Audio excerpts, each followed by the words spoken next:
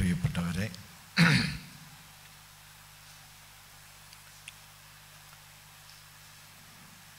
ഈ സ്മാരക പ്രഭാഷണം സാധാരണ നിലയിൽ ഒ വിജയനെക്കുറിച്ചുള്ള ആലോചനകളിൽ അത്രയൊന്നും പ്രധാനമായി വരാനിടയില്ലാത്ത ഒരു പ്രമേയത്തെ മുൻനിർത്തിയാണ് നടത്തുന്നത്. ഖസാക്കിലെ ചരിത്രബന്ധങ്ങൾ എന്ന ഒരു പ്രമേയമാണ് ഈ പ്രഭാഷണത്തിനായി തിരഞ്ഞെടുത്തിട്ടുള്ളത്. നിങ്ങളെല്ലാവരും ഖസാക്ക് വായിച്ചു കാണും എന്നെനിക്കറിയാം. നമ്മുടെ ഭാഷയുടെ ചരിത്രത്തിലെ എക്കാലത്തെയും അതുല്യമായ രചനകളിലൊന്നാണത് എന്ന് ഞാൻ പറയാതെ നിങ്ങൾക്കറിയാം. നമ്മുടെ ഭാവനാമണ്ഡലത്തെയും ഭാഷയുടെ പ്രകാരങ്ങളെയും ഭാവുകത്വത്തിന്റെ ഘടനയെയും ഒക്കെ വഴിതിരിച്ചു വിടാൻ കഴിഞ്ഞ അത്യപൂർവം കൃതികളെ നമ്മുടെ ഭാഷയിലുള്ളൂ. അതിലൊന്നാണ് ഖസാക്ക് എന്ന് പ്രത്യേകിച്ച് പറയേണ്ടതില്ല. ഖസാക്ക് ആയിരത്തി തൊള്ളായിരത്തി അറുപത്തി ഒൻപതിൽ പ്രസിദ്ധീകൃതമായത് മുതൽ എത്രയോ വായനകളിലൂടെ അത് കടന്നുപോയി. ഇപ്പോഴും അത് തുടരുകയും ചെയ്യുന്നു. അതുകൊണ്ട് ഖസാക്കിനെ കുറിച്ച് ഇനി എന്താണ് പറയുക എന്നത് വാസ്തവത്തിലൊരു സംശയമാണ്. കാരണം അത്രയധികം പറയപ്പെട്ട് കഴിഞ്ഞ അത്രയധികം വായനകൾക്കും വ്യാഖ്യാനങ്ങൾക്കും വിശദീകരണങ്ങൾക്കും ഒക്കെ അനുകൂലമായും പ്രതികൂലമായും ഒക്കെയുള്ള വിശദീകരണങ്ങൾക്കൊക്കെ വിധേയമായി കഴിഞ്ഞ ഒരു രചനയാണത്. അതിൽ പലതും നമ്മുടെയൊക്കെ വായനാ സംസ്കാരത്തിൽ വലിയ തോതിൽ ഇടപെടുകയും ഖസാക്കിനെ എങ്ങനെ മനസ്സിലാക്കണം എന്നതിനെക്കുറിച്ച് നമുക്ക് ധാരാളം സൂചനകൾ നൽകുകയും ചെയ്തിട്ടുണ്ട്. തൊള്ളായിരത്തി അറുപത്തൊമ്പത് നിങ്ങൾക്കറിയുന്നത് പോലെ നമ്മുടെ ഭാഷയുടെ ചരിത്രത്തിലും പ്രാധാന്യമുള്ളൊരു വർഷമാണ്. ആധുനികതാ പ്രസ്ഥാനത്തിന്റെ ഉച്ചസ്ഥാനത്തേക്ക് വന്ന പല കൃതികളും ആ വർഷമാണ് പുറത്തു വന്നത്. മൂന്നിന്റെ ഡൽഹി വരുന്നത് ആ വർഷമാണ്. കാക്കനാടന്റെ ഉഷ്ണമേഖല ആ വർഷമാണ് വരുന്നതും. വി കെ എന്റെ ആരോഹണവും ആ വർഷമാണെന്നാണ് എന്റെ ഒരു ഓർമ്മ.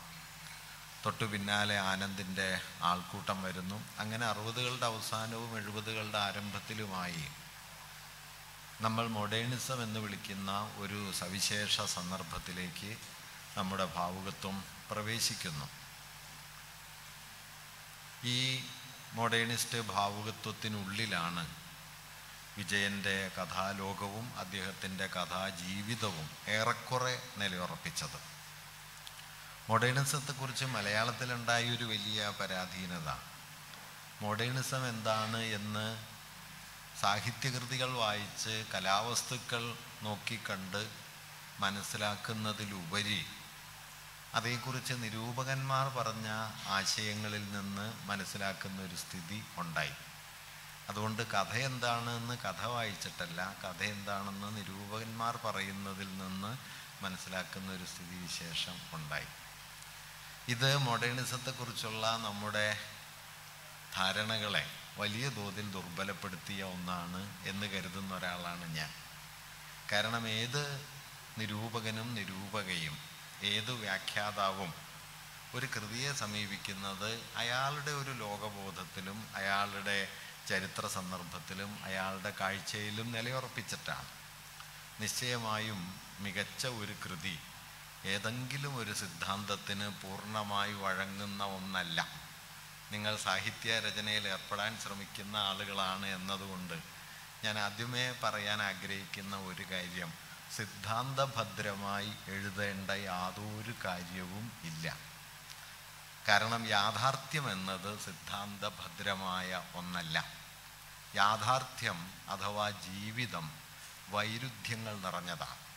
ആ വൈരുദ്ധ്യങ്ങളിൽ ആഴത്തിൽ വേരുപിടിച്ച് നിൽക്കുന്നത് വഴിയാണ് ഒരു കലാവസ്തുവിന് അതിന്റെ മൗലികത ആർജിക്കാൻ കഴിയുക. ചരിത്രത്തെ പുറത്താക്കിയിട്ടല്ല ചരിത്രത്തിൽ ആഴത്തിൽ വേരുപിടിച്ചിട്ടാണ് ഈ ചരിത്രമാകട്ടെ ഒരു നിലയ്ക്കും വൈരുദ്ധ്യരഹിതമായ ഒരു വഴിയിലൂടെ അന്തിമമായി വിശദീകരിച്ചെത്തിക്കാവുന്ന ഒരു കാര്യവും അല്ല.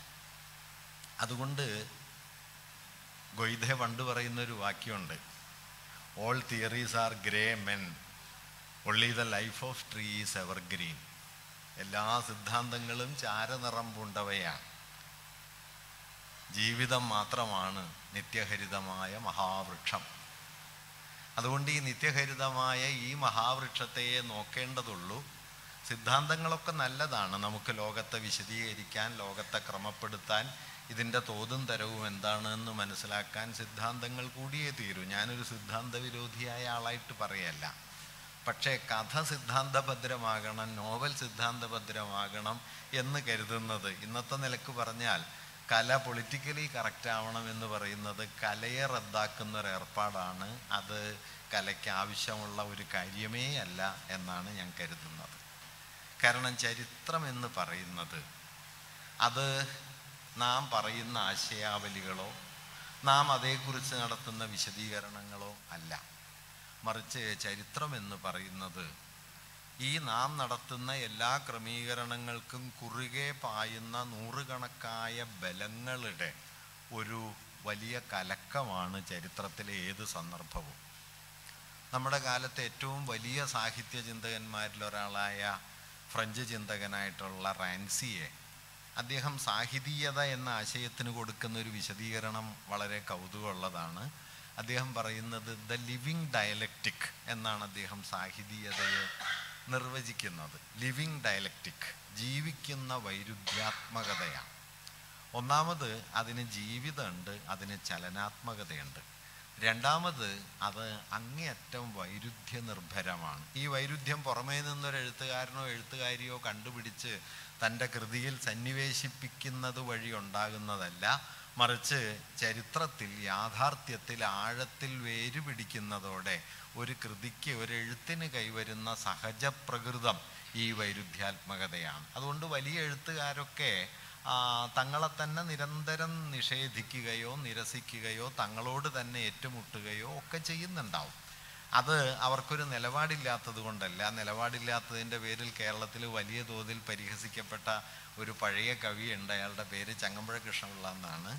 ഞങ്ങൾ നാട്ടിൽ ലൈബ്രറിയിൽ പ്രമേയം യോഗം ചേർന്ന് ചങ്ങമ്പുഴ എഴുത്ത് നിർത്തണമെന്ന് പ്രമേയം പാസാക്കിയ പാരമ്പര്യമുള്ള ഒരു നാടുമാണ്. അതിനെക്കുറിച്ചും പക്ഷേ ചങ്ങമ്പുഴ കവിത എഴുതി കേട്ടോ. എന്റെ കവിത എന്നുള്ള കവിത ഈ പ്രമേയത്തെക്കുറിച്ചുള്ള കവിതയാണ്. അങ്ങനെ. അപ്പൊ ചങ്ങമ്പുഴയ്ക്ക് നിലപാടില്ല എന്ന് പറഞ്ഞപ്പോൾ കേസരി ബാലകൃഷ്ണപിള്ള അന്ന് അതിനെക്കുറിച്ച് പറഞ്ഞ ഒരു വാക്യം. വാസ്തവത്തിൽ ചങ്ങമ്പുഴയ്ക്ക് ഒരു നിലപാടുണ്ട്. ഒരാൾ എന്തായി ജീവിക്കാൻ ആഗ്രഹിക്കുന്നുവോ അതായി നിലനിൽക്കാൻ ഈ സമുദായം അയാളെ അനുവദിക്കുന്നില്ല എന്നതാണ് ചങ്ങമ്പുഴയുടെ തത്വശാസ്ത്രം എന്ന് പറഞ്ഞത്. അതുകൊണ്ട് ഒരാൾക്ക് നിക്കക്കള്ളിയില്ല. ആ നിക്കക്കള്ളിയില്ല എന്നുള്ളത് പിന്നീട് നമ്മുടെ ഒരു വലിയ കവി എഴുതുകണ്ടായി ഈ തട്ടകം നിൽക്കുവാൻ വയ്യാതെ പൊള്ളുന്നു പൊള്ളുന്നു എന്ന് മാപ്പ് സാക്ഷിയിൽ ബാലചന്ദ്രൻ എഴുതിയതാണ് കേസരി ഈ മലയാളത്തിൽ പറഞ്ഞത്. ഈ തട്ടകം നിൽക്കുവാൻ വയ്യാതെ പൊള്ളുന്നു പൊള്ളുന്നു. അതുകൊണ്ട് കാലുവെന്ത നായെ പോലെ പാഞ്ഞുകൊണ്ടിരിക്കുന്ന ഒരു ഭാവുകത്വ സന്ദർഭം വരുമ്പോൾ ഒരു കവിക്ക് നിന്നിടത്ത് നിൽക്കാൻ പറ്റില്ല. എല്ലാ സ്വർഗങ്ങളും നരകങ്ങളാകുന്നു. ഒരു സ്വർഗത്തിലും ഒരാൾക്കും ശാശ്വതമായ പാർപ്പിടമില്ലാതാകുന്നു. അതുകൊണ്ട് അയാൾ സ്വർഗങ്ങളെ വിട്ട് അയാൾ അലയാൻ തുടങ്ങുന്നു. ഈ അലച്ചിൽ ഒരു കാലഘട്ടത്തിന്റെ സവിശേഷമായൊരു ഭാവുകത്വമാണ്. അതിനെ ഒരു കവി അതിനെ ഒരു എഴുത്തുകാരൻ തെളിയിച്ച് കാണിക്കുന്നു എന്നേ ഉള്ളൂ. അത് ചരിത്രമില്ലായ്മയുടെ തെളിവല്ല ആഴത്തിൽ ചരിത്രവൽക്കരിക്കപ്പെട്ടതിന്റെ അടയാളമാണ്.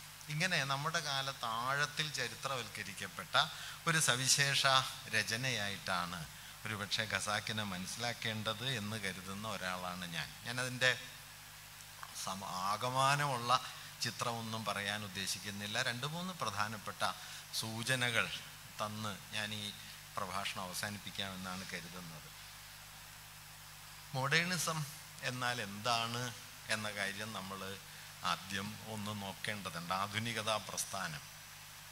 ആധുനികതാ പ്രസ്ഥാനം വാസ്തവത്തിൽ നമ്മൾ പലപ്പോഴും ധരിക്കുന്നത് പോലെ ജീവിതത്തിൽ നിന്നുള്ള പിൻവാങ്ങലോ മരണാഭിമുഖ്യമോ നിരർത്ഥകതയുടെ ആഘോഷമോ ഒക്കെ മാത്രമായി മനസ്സിലാക്കപ്പെടേണ്ടതല്ല. ഇതൊക്കെ അതിനകത്തുണ്ട്. പക്ഷേ ഇങ്ങനെ ഒരു ബോധം വരുന്നത് എന്തുകൊണ്ടാണ് എന്നത് പ്രധാനപ്പെട്ട ഒരു കാര്യമാണ്. എന്തുകൊണ്ടാണ് ജീവിതം ജീവിക്കാൻ കൊള്ളുന്നതല്ല? എന്ന് ഒരാൾ കരുതുകയും അയാൾ മറുഭാഗത്തേക്ക് നിരന്തരം നോക്കിക്കൊണ്ടിരിക്കുകയും ചെയ്യുന്നത്. എന്തുകൊണ്ടാണ് ഒരാൾ തിന്മയുടെ പൂക്കൾ എന്ന് കവിത എഴുതുന്നത്? ബോധലയർ എഴുതിയത് അങ്ങനെ ഒരു കവിതയാണ്. അതിനനുകരിച്ച് ചങ്ങമ്പുഴ എഴുതുകയുണ്ടായി. എന്തുകൊണ്ടാണ് ഈ മനുഷ്യൻ എന്ന് പറയുന്നത് അത്യുദാരമായൊരു സങ്കല്പമാണ് എന്ന് കരുതിയിരുന്നിടത്തു നിന്ന് മനുഷ്യൻ വളരെ മോശപ്പെട്ട ഒരാശയാണ് എന്ന് ഉള്ളൊരു ധാരണ വന്നത്. ആ ധാരണ മലയാളത്തിൽ ആദ്യം കൊണ്ടുവന്നത് മോഡേണിസ്റ്റുകളൊന്നുമല്ല കേട്ടോ. ഒരുപക്ഷെ നമ്മൾ അങ്ങനെ പ്രതീക്ഷിക്കാൻ ഇടയില്ലാത്തൊരു കവിയാണ് എൻ വി കൃഷ്ണവാര്യരാണ്. എലികൾ. നിങ്ങൾക്കിതൊന്നും മനസ്സിലാകുന്നില്ലേ? നിങ്ങൾ എലികളോ മാനുഷരോ? എന്ന് എലികൾ എന്ന കവിതയുടെ അവസാനം തള്ള എലി കുഞ്ഞുങ്ങളോട് ചോദിക്കുന്നത് കാണാം. ഏതാണ്ട് ഇതേ കാലത്ത് വൈലോപ്പള്ളി ചെറ്റയാം വിടഞ്ഞാൻ ഇനിമേലിൽ കഷ്ടമെങ്ങനെ കണ്ണാടി നോക്കും? എന്ന് ചോദിക്കുന്നുണ്ട്.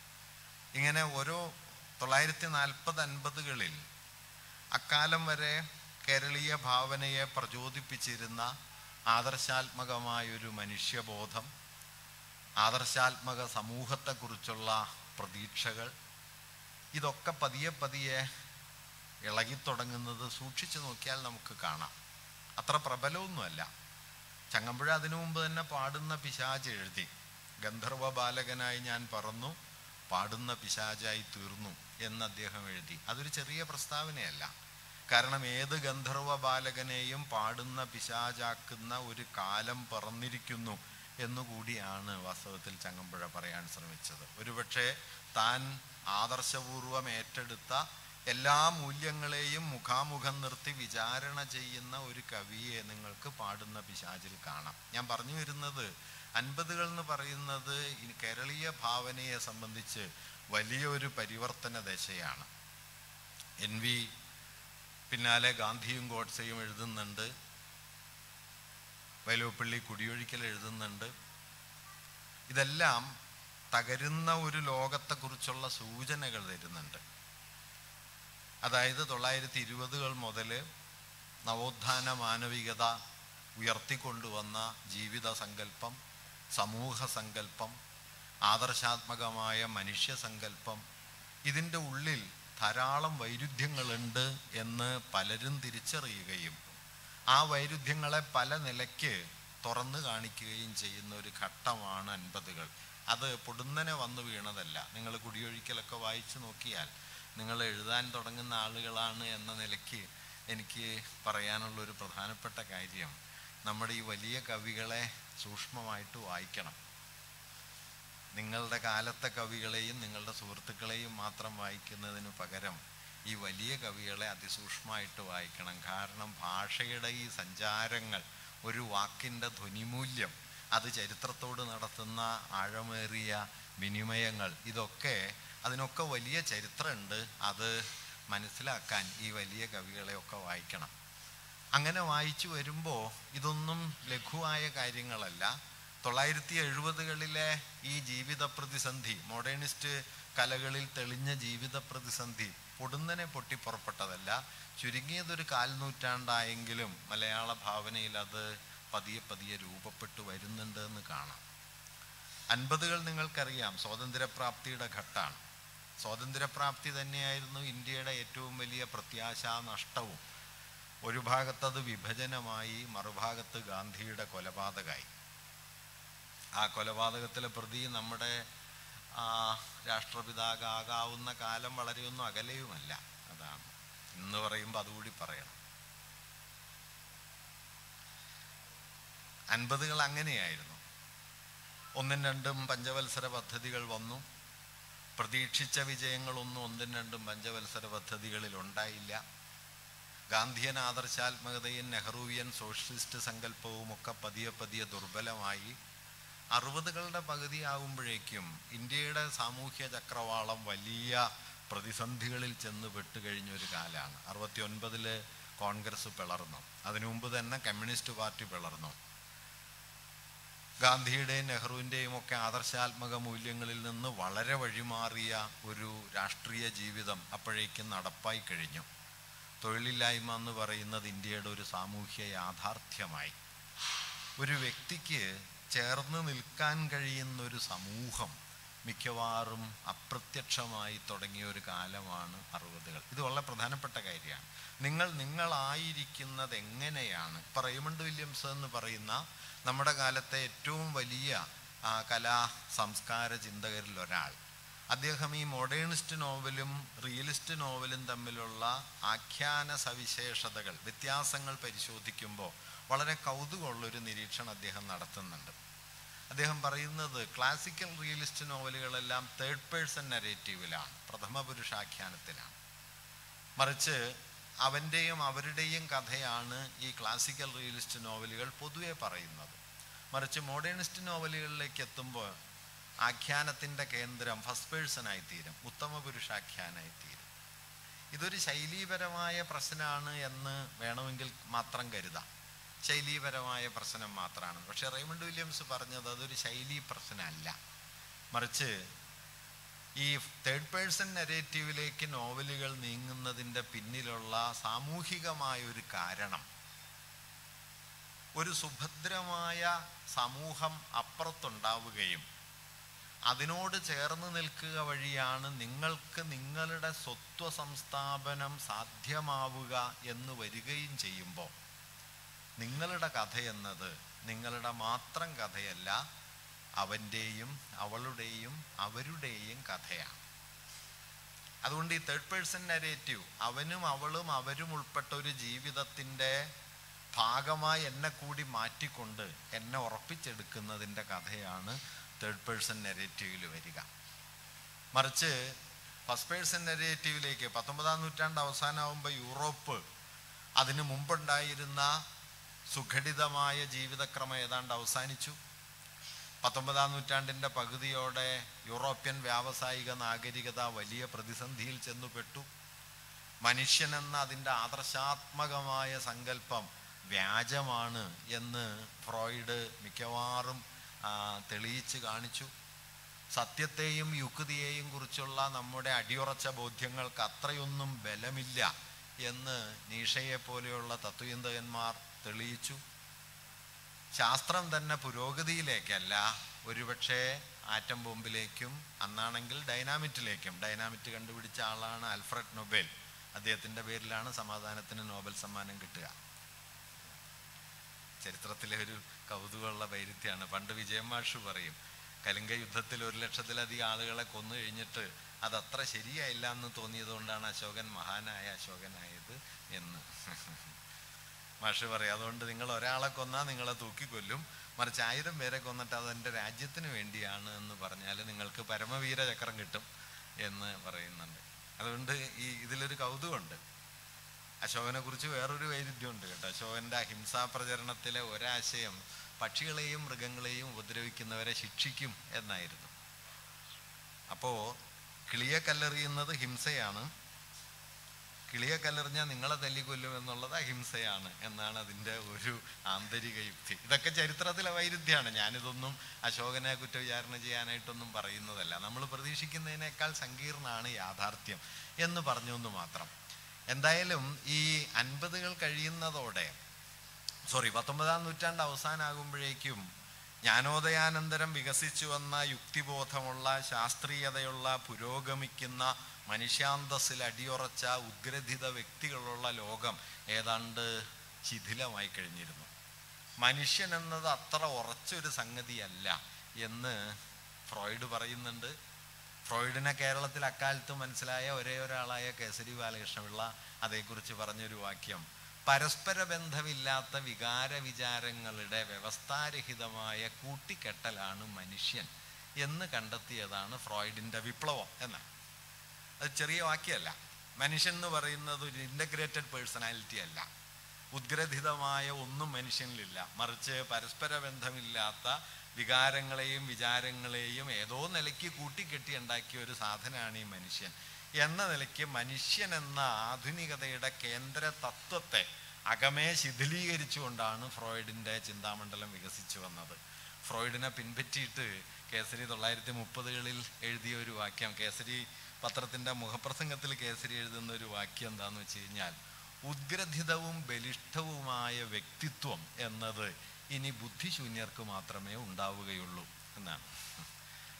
ഒരുപക്ഷെ ഇന്ന് നിങ്ങൾക്ക് കുറച്ചുകൂടി പറഞ്ഞാൽ മനസ്സിലാവും. ഒരു മാസ്കുലിൻ ഹീറോയിസം ബലിഷ്ഠ മാനവികത എന്നൊക്കെ പറയുന്നത് ഹിംസയുടെ രൂപങ്ങളാണ് എന്ന് ഇപ്പം നമുക്ക് മനസ്സിലാവും. കേസരി തൊള്ളായിരത്തി മുപ്പതിൽ പറഞ്ഞു ഉദ്ഗ്രഥിതവും ബലിഷ്ഠവുമായ വ്യക്തിത്വം ഇനി ബുദ്ധിശൂന്യർക്ക് മാത്രമേ ഉണ്ടാവൂ. ഞാൻ ഈ വാക്യത്തിൽ നിന്ന് ഖസാക്കിലേക്ക് ഒരു വഴിയുണ്ട് എന്ന് കൂടി പറയാം. ഖസാക്കിൽ എല്ലാ മനുഷ്യരും ഈ ഉദ്ഗ്രഥിത വ്യക്തിത്വത്തെ ഉപേക്ഷിച്ചവരാണ്. ഉദ്ഗ്രഥിത വ്യക്തിത്വവുമായി ഗസാക്കിലേക്ക് വന്നിട്ട് അത് ഉപേക്ഷിച്ച് അവിടുത്തെ കുഴമറച്ചിലിൽ ജീവിക്കുകയും പുറത്തേക്ക് കടക്കുമ്പോൾ പമ്പ് കടിയേറ്റ് മരിക്കുകയോ ആത്മഹത്യ ചെയ്യുകയോ അതെന്തു ആവട്ടെ. ചെയ്യുന്ന ഒരാളാണ് രവി. നൈസാമലി അങ്ങനെയാണ്. നൈസാമലി അകത്ത് കുഴമറച്ചിലാണ് സോറി ഗാലിയാരായിട്ട് പുറത്ത് അദ്ദേഹം പോയി യൂണിയൻ നേതാവൊക്കെ ആയിട്ട് ജിന്ന് ബാധിക്കും. ജിന്നാക്കും എന്നാണല്ലോ പറയുക എന്നിട്ട് ഖസാക്കിലേക്ക് തിരിച്ചു വരും. പഴയ കുഴമറച്ചിലേക്ക് വീണ്ടും വരും.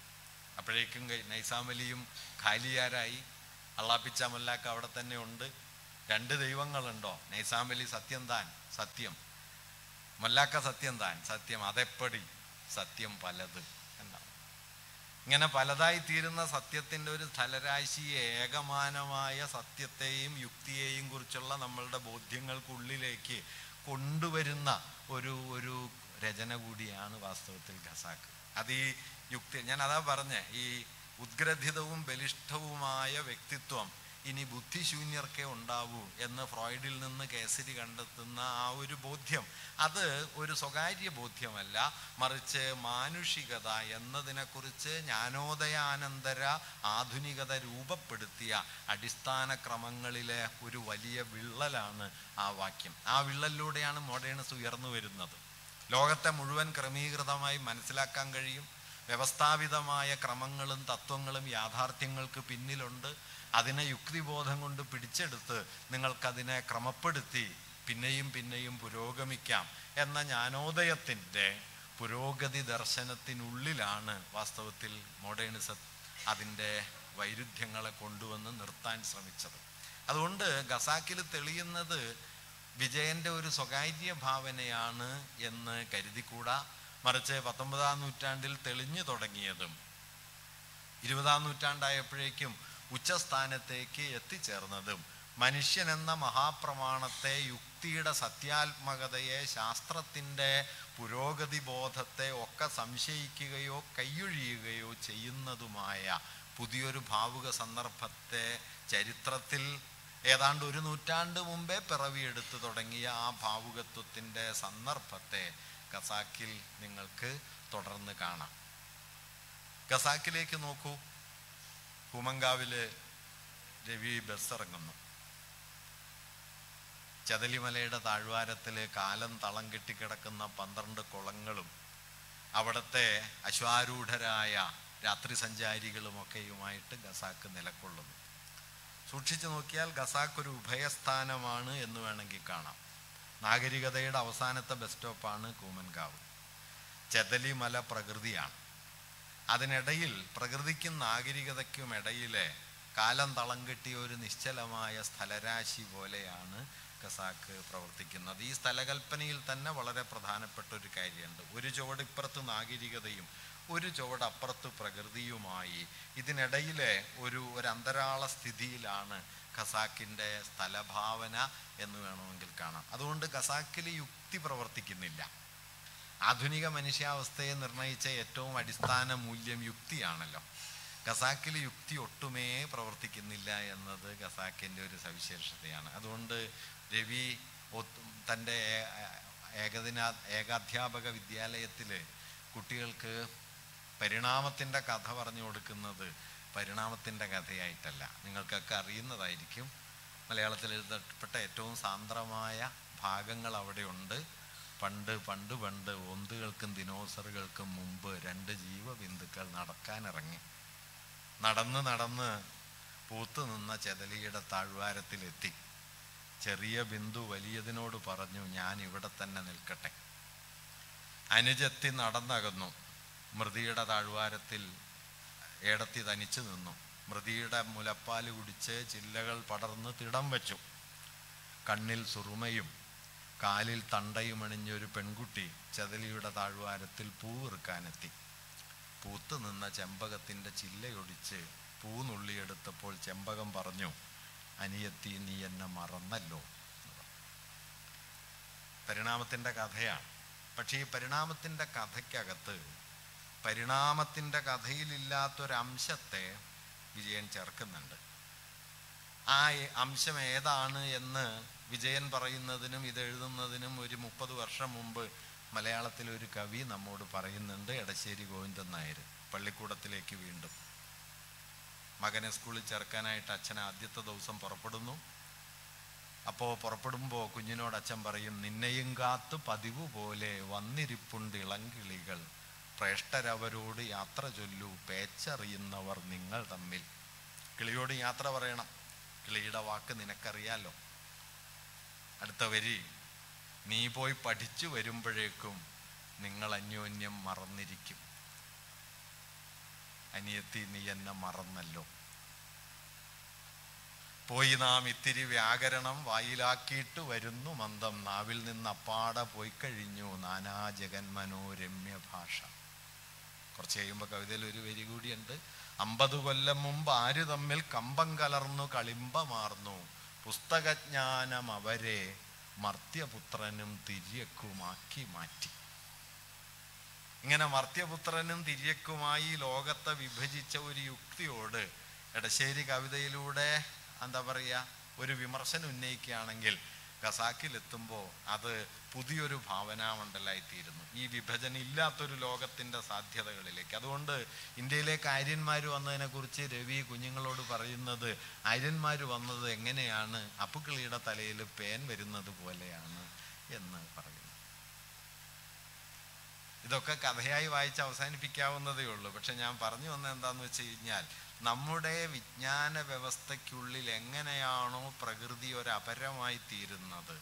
ആ അപരത്തെ നിഷേധിക്കുന്ന ഒരു അറിവിന്റെ ലോകം അനുഭവമായി തീരുന്ന ഒരു അറിവിന്റെ ലോകം സാധ്യമാകുമോ എന്ന ചോദ്യം വാസ്തവത്തിൽ ഖസാക്ക് ഉന്നയിക്കാൻ ശ്രമിക്കുന്നുണ്ട്.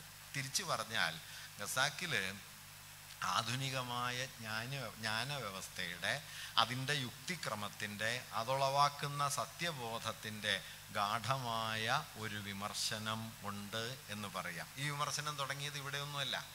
ആ വിമർശനം ആരംഭിച്ചത് പത്തൊമ്പതാം നൂറ്റാണ്ടിന്റെ തുടക്കത്തിലാണ്. വ്യവസായ വിപ്ലവം രംഗത്ത് വരികയും അത് മനുഷ്യനെ പ്രകൃതിയിൽ നിന്ന് വേറിട്ട് മാറ്റുകയും ചെയ്യുന്നു എന്ന ബോധം പത്തൊമ്പതാം നൂറ്റാണ്ടിന്റെ തുടക്കത്തിലുണ്ട്.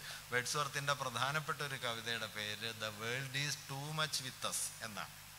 ഈ ലോകം നമ്മോടൊപ്പം വളരെ കൂടുതലുണ്ട്. അതുകൊണ്ട് നിനക്ക് കിളിയുടെ പാട്ട് കേൾക്കാൻ കഴിയുന്നില്ല. പുഴയുടെ ഒഴുക്ക് കാണാൻ കഴിയുന്നില്ല കാറ്റിന്റെ കഥ കേൾക്കാൻ കഴിയുന്നില്ല.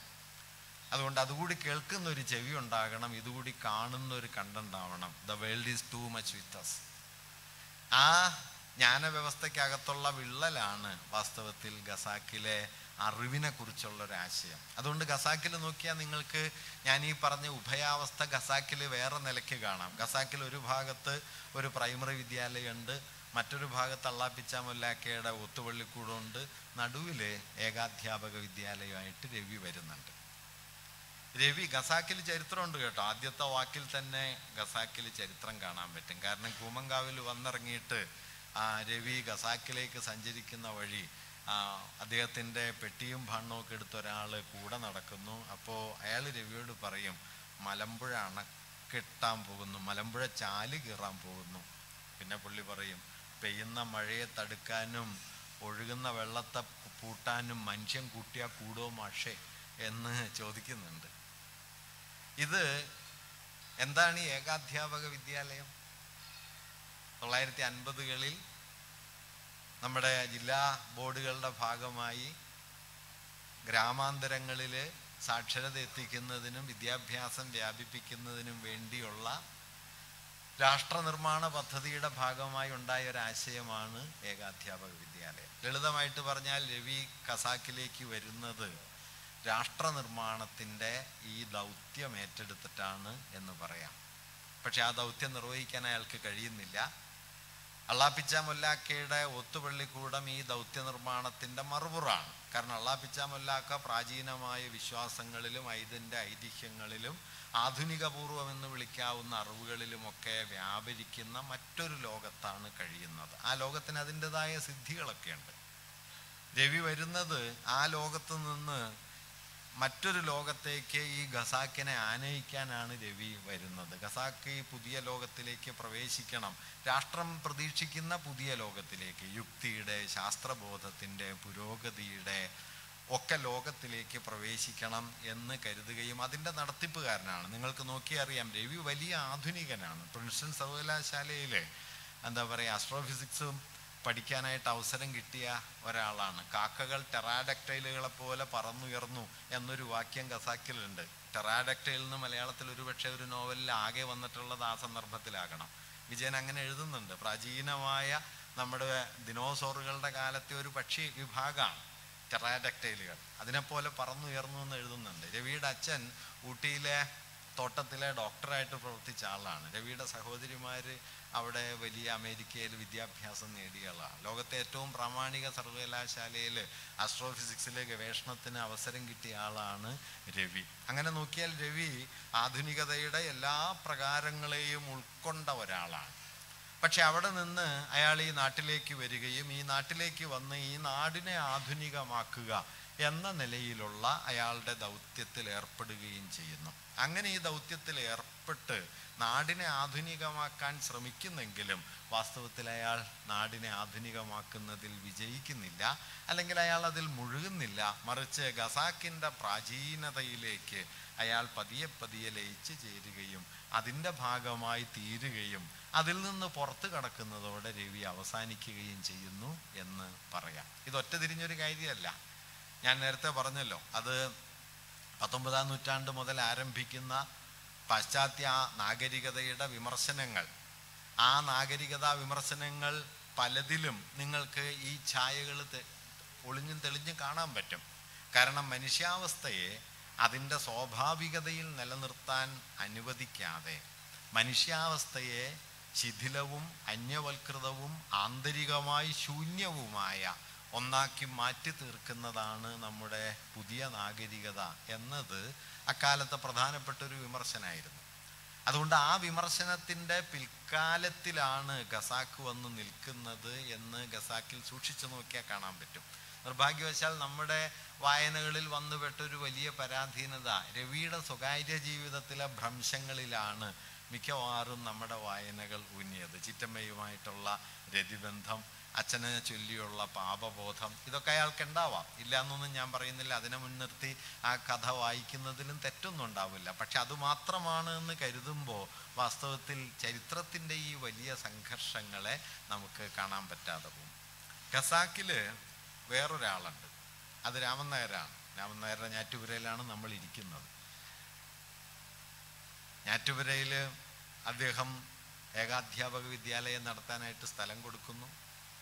അദ്ദേഹം ഞാറ്റുപുരയുടെ ഉടമയാണ്. രവിയുമായി അയാൾക്കൊരു സംഘർഷമുണ്ട്. വെള്ളാപ്പിച്ചാമല്ലാക്കയോടും ഖാലിയാരോടും ഒക്കെ അയാൾക്കൊരു സംഘർഷമുണ്ട്. രാമൻ നായരെ സൂക്ഷി ശിവരാമൻ നായർ ശിവരാമൻ നായരെ സൂക്ഷിച്ചു നോക്കിയാലേ നിങ്ങൾക്ക് ഒരു സവിശേഷത കാണാം. ശിവരാമൻ നായർ ഒരു സന്ദർഭത്തിൽ വള്ളത്തോളിന്റെ ഒരു കവിത തെറ്റായിട്ട് ഉദ്ധരിക്കുന്നുണ്ട്. മൊട്ടപ്പാഴ്ത്തലയല്ല വേണ്ടു ഭാരതക്ഷോണി കിരീടം ചൂടാൻ എന്ന് വള്ളത്തോൾ ഒരു സ്ഥലത്ത് എഴുതുന്നുണ്ട്. അത് ശിവരാമൻ നായർ ഉദ്ധരിക്കണത് കുറച്ച് തെറ്റിച്ചിട്ടാണ്. ഭാരതക്ഷോണി കിരീടം ചൂടാൻ എന്നാണ്. ഇത് ഈ വാക്യമുണ്ടല്ലോ. അത് ശിവരാമൻ നായർ സ്വകാര്യമായിട്ട് ഉദ്ധരിച്ചതോ തെറ്റിപ്പോയത് മാത്രമായ ഒരു കാര്യമല്ല. വാസ്തവത്തിൽ ഇന്ത്യൻ ആധുനികതയ്ക്കകത്ത് പ്രത്യേകിച്ചും ഇന്ത്യൻ ദേശീയ പ്രസ്ഥാനം വികസിച്ചു വരികയും ദേശരാഷ്ട്രം നിലവിൽ വരികയും ചെയ്ത ഘട്ടത്തിൽ അതിലെ അപരസ്ഥാനമായി അന്നേ സങ്കല്പിക്കപ്പെട്ടതാണ് ഇന്ത്യയിലെ മുസ്ലിങ്ങൾ നമ്മൾ ആ അപരത്വത്തെ പ്രകാശിപ്പിക്കുന്ന ഒരു വാക്യായിരുന്നു മൊട്ടപ്പാഴ്ത്തലയല്ല വേണ്ടു ഭാരതക്ഷോണി കിരീടം ചൂടാൻ. ഇത് ഉദ്ധരിക്കുന്ന ഒരാളാണ് ശിവരാമൻ നായർ. ശിവരാമൻ നായരെ നോക്കിയാൽ നിങ്ങൾക്ക് ശിവരാമൻ നായർ ഒരു ഫ്യൂഡൽ മൂരാച്ചിയാണ്. കൊണശ്ശേരി നിന്ന് വരുന്ന സഖാക്കൾ പറയുന്നുണ്ട് ഇയാളൊരു ഫ്യൂഡൽ മൂരാച്ചിയാണ്. എന്ന് പറയുന്നുണ്ട്. അത് ശരിയുമാണ്. പക്ഷെ അയാൾ ഒരു ഫ്യൂഡൽ എന്ന് ജന്മി എന്നൊന്നും വിളിക്കാൻ അയാൾക്ക് ഉൽപാദനപരമായിട്ട് അങ്ങനെ സ്വത്തോ വലിയ സമ്പത്തോ ഇല്ല. അയാൾ ഈ ഫ്യൂഡൽ ബോധത്തിന്റെ ചില അവശിഷ്ടങ്ങളെ കൊണ്ട് നടക്കുന്നു.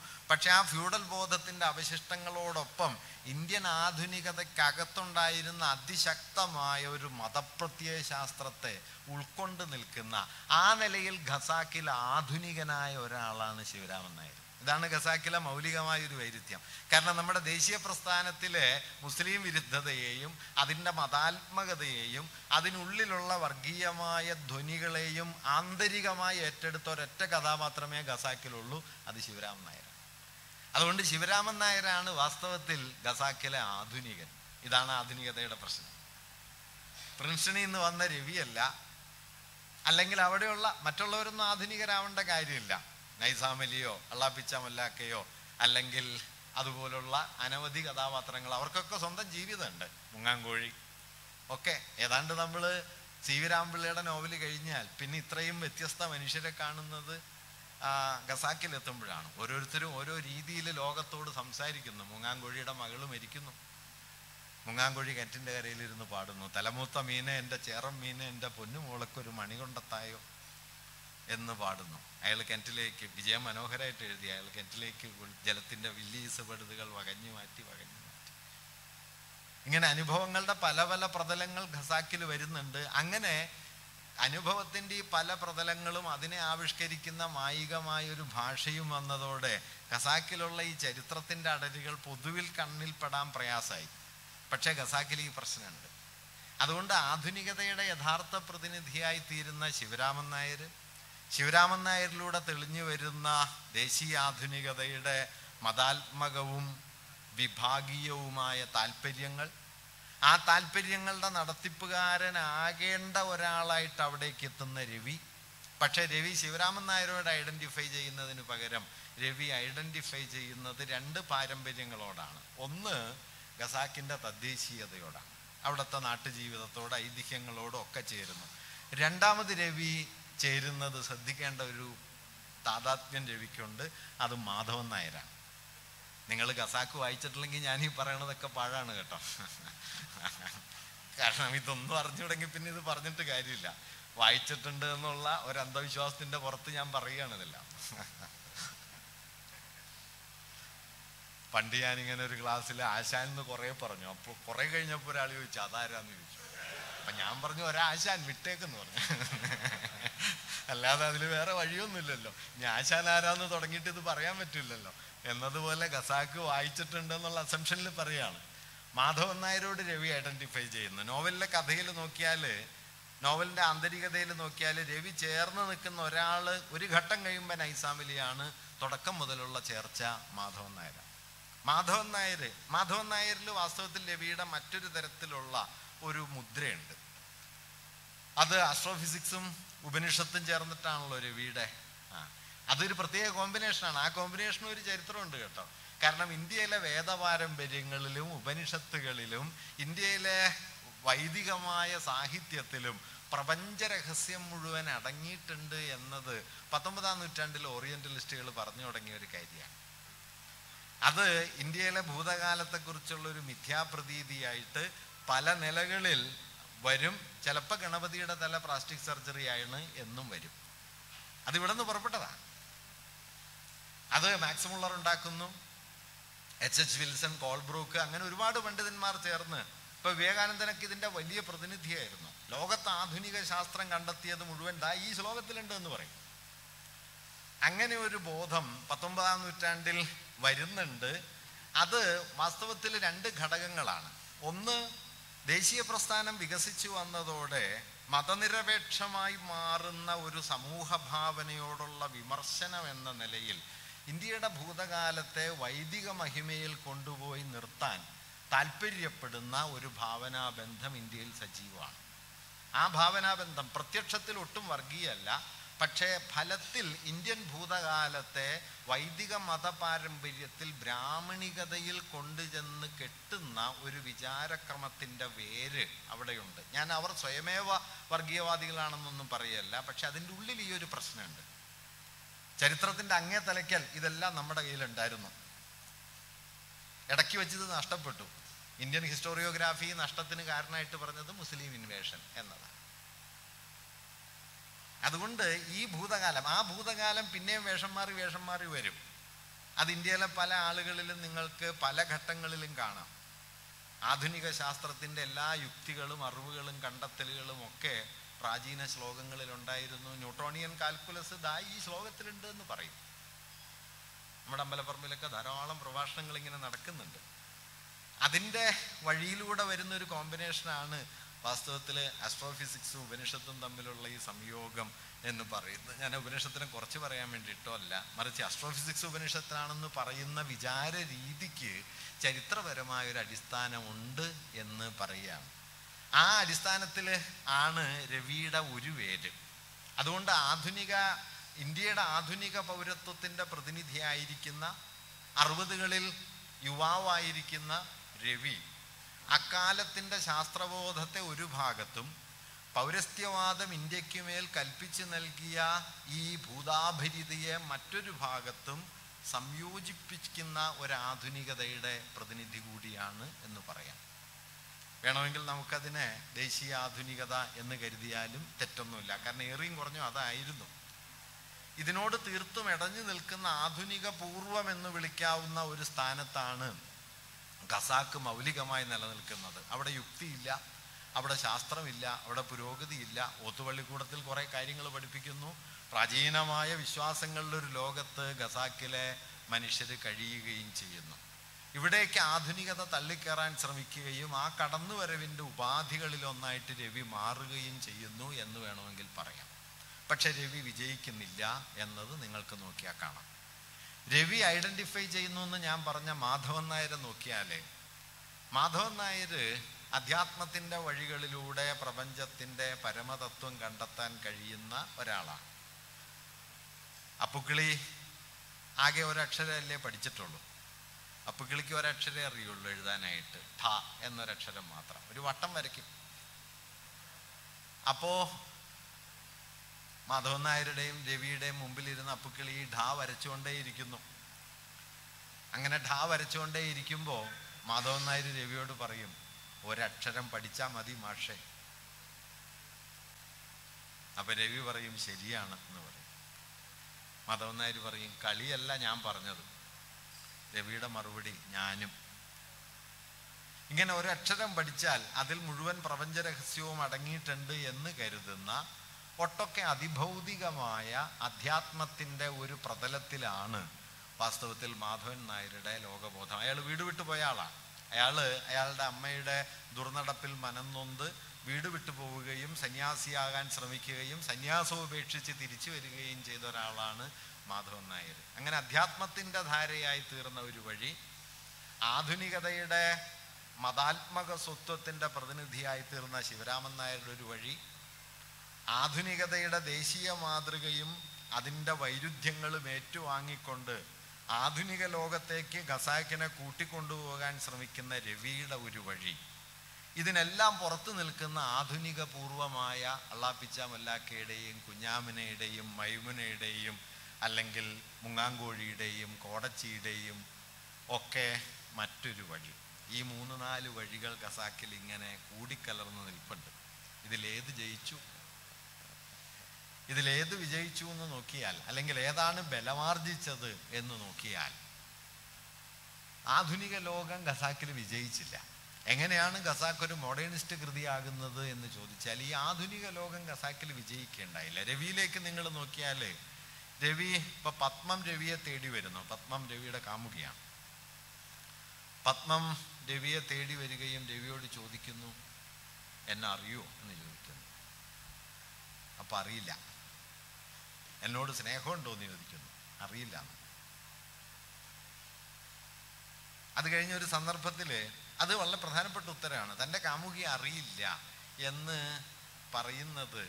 വാസ്തവത്തിൽ ഈ പ്രണയം എന്ന് പറയുന്ന അനുഭവത്തിന്റെ ഒരു ശൈഥില്യത്തെ കൂടി സൂചിപ്പിക്കുന്നുണ്ട്. ഈ പ്രണയം എന്ന് പറയുന്നത് രണ്ട് മനുഷ്യർക്കിടയിലുള്ള വെറുമൊരു ആകർഷണത്തിന്റെ പേരല്ല. അത് വളരെ പ്രാചീനമായ ഒന്നാണ്. മറിച്ച് ആധുനികമായ പ്രണയം എന്ന് പറയുന്നത് വ്യക്തികളെക്കുറിച്ചുള്ള ഒരു ആധുനിക ധാരണയോട് ബന്ധപ്പെട്ടതാണ്. ലളിതമായിട്ട് പറഞ്ഞു കഴിഞ്ഞാൽ ഞാനൊരു ഒറ്റ തിരിഞ്ഞ അനന്യമായ വ്യക്തിത്വമുള്ള ഒരാളാണെന്ന് ഞാനും നീ അങ്ങനെ ഒരാളാണെന്ന് നീയും കരുതുകയും നമുക്കിടയിൽ സവിശേഷമായ ഒരു ബന്ധം നിലനിൽക്കുകയും ചെയ്യുമ്പോഴാണ് അത് പ്രണയാകുന്നത്. അതുകൊണ്ടാണ് ഒരു പ്രണയിക്ക് ഒരു പ്രണയിനിയോടുള്ള ബന്ധം അത് മാത്രമാണ് എന്ന് പറയുന്നത്. ലളിതമായിട്ട് പറഞ്ഞാൽ മറ്റൊരു ഭാഷയിൽ പറഞ്ഞാൽ മനുഷ്യർ പറ്റത്തിലൊരാൾ എന്നതിൽ നിന്ന് ഒറ്റയ്ക്കൊരാൾ എന്ന നിലയിലേക്ക് രൂപാന്തരപ്പെട്ടതിന് ശേഷമുള്ള സ്ത്രീ പുരുഷ ബന്ധമാണ് പ്രണയം. ഞാൻ പറഞ്ഞ വാക്യം ശ്രദ്ധിക്കണം. പറ്റത്തിലൊരാൾ എന്നതിൽ നിന്ന് ഒറ്റയ്ക്കൊരാൾ എന്നതിലേക്ക് മനുഷ്യർ പരിവർത്തനപ്പെട്ടതിന് ശേഷമുള്ള സ്ത്രീ പുരുഷ ബന്ധത്തിന്റെ അനുഭൂതി തലത്തെയാണ് പ്രണയം എന്ന് വിളിക്കുന്നത്. അവിടെ ഞാനും നീയും തമ്മിലുള്ള ബന്ധം അത് മാത്രമാണ് വേറെ എവിടെയില്ല. മലയാളത്തിൽ ഈ അടയാളം ആദ്യം തെളിഞ്ഞത് തൊള്ളായിരത്തി ഏഴിലാണ് വീണപൂവിലാണ്. പൂവിന്റെ സൗന്ദര്യത്തെക്കുറിച്ച് ആശാൻ പറയുന്നു ജാതാനുരാഗം ഒരുവന്റെ മിഴിക്കു വേദ്യം ഏതോ വിശേഷ സുഭഗത്വവും ആർന്നിരിക്കാം. എല്ലാവരും നോക്കിയാൽ കാണുന്ന ഭംഗിയല്ല പൂവിന് ഭംഗിയുണ്ടെന്ന് പറയുന്നു ആശാൻ. എങ്ങനെയുള്ള ഭംഗി? അനുരാഗിയായ ഒരാൾ നോക്കിയാൽ കാണുന്ന ഭംഗി. എല്ലാവരും നോക്കിയാൽ കാണില്ല. എല്ലാവരും നോക്കിയാൽ കാണുന്ന ഭംഗി സൗന്ദര്യത്തെ ഒരു വസ്തുഗുണമാക്കുന്നു. ആശാന്റെ ഭംഗി സൗന്ദര്യത്തെ ഒരു ആന്തരിക ഭാവമാക്കുന്നു. വസ്തുഗുണമായ സൗന്ദര്യം അപ്പോഴും ഉണ്ട്. വള്ളത്തോളക്കാലത്ത് എഴുതുന്നുണ്ട് വെണ്ണതോൽക്കും ഉടലിൽ സുഗന്ധിയാം എണ്ണതേ ചരയിൽ ഒറ്റമുണ്ടുമായി ഉല്ലസിക്കുന്ന ആ നദാങ്കി മുക്കണ്ണനേകി മിഴികൾക്കൊരു ഉത്സവം. മുക്കണ്ണനല്ല ആർക്കും ഉത്സവമാണ്. രണ്ട് കണ്ണ് തന്നെ വേണമെന്നില്ല ഉത്സവാവാൻ. പക്ഷെ അവിടെ നിന്ന് മാറി. ഞാൻ നോക്കിയാൽ കാണും. പിന്നെ ബഷീർ എഴുതി എന്റെ കാമുകി അതിസുന്ദരിയാണ്. അവൾ ചിരിക്കുമ്പോൾ മാത്രമേ വെളുപ്പ് കാണുള്ളൂ പക്ഷെ ലോകത്തെ ഏറ്റവും വലിയ സുന്ദരി അവളാണ് എന്ന് ബഷീർ എഴുതുന്നു. കാരണം നിങ്ങൾ കാണുന്നതല്ല എന്റെ ആന്തരികതയിൽ ഞാൻ കാണുന്നതാണ് അതുകൊണ്ട് സൗന്ദര്യം എന്നത് അനുരാഗം എന്നത് രണ്ട് വ്യക്തികൾക്കിടയിലെ പരസ്പരാകർഷകത്വമല്ല അതിനുള്ളിലെ ആന്തരികമായ ഒരു അനുഭൂതി തലമാണ് എന്ന് വരുന്നു. ഈ അനുഭൂതിയെ പ്രണയം എന്ന് വിളിക്കുന്നു. ആ പ്രണയത്തെയാണ് കുമാരനാശാൻ പ്രണയപരവശേ ശുഭം എന്ന് തൊള്ളായിരത്തി പതിനേഴിൽ ലീലയുടെ തുടക്കത്തിൽ എഴുതിയത്. അപ്പോഴാണ് ആശാൻ അനുരാഗം എന്ന് പറയുന്നത് ഈ മനുഷ്യർക്കിടയിൽ നിങ്ങൾ കാണുന്ന പ്രത്യക്ഷമായ ഒരു കാര്യമല്ല പരോക്ഷമായി പ്രവർത്തിക്കുന്ന ഒരു അതീത ശക്തിയാണ് എന്ന് ആശാൻ എഴുതുന്നു.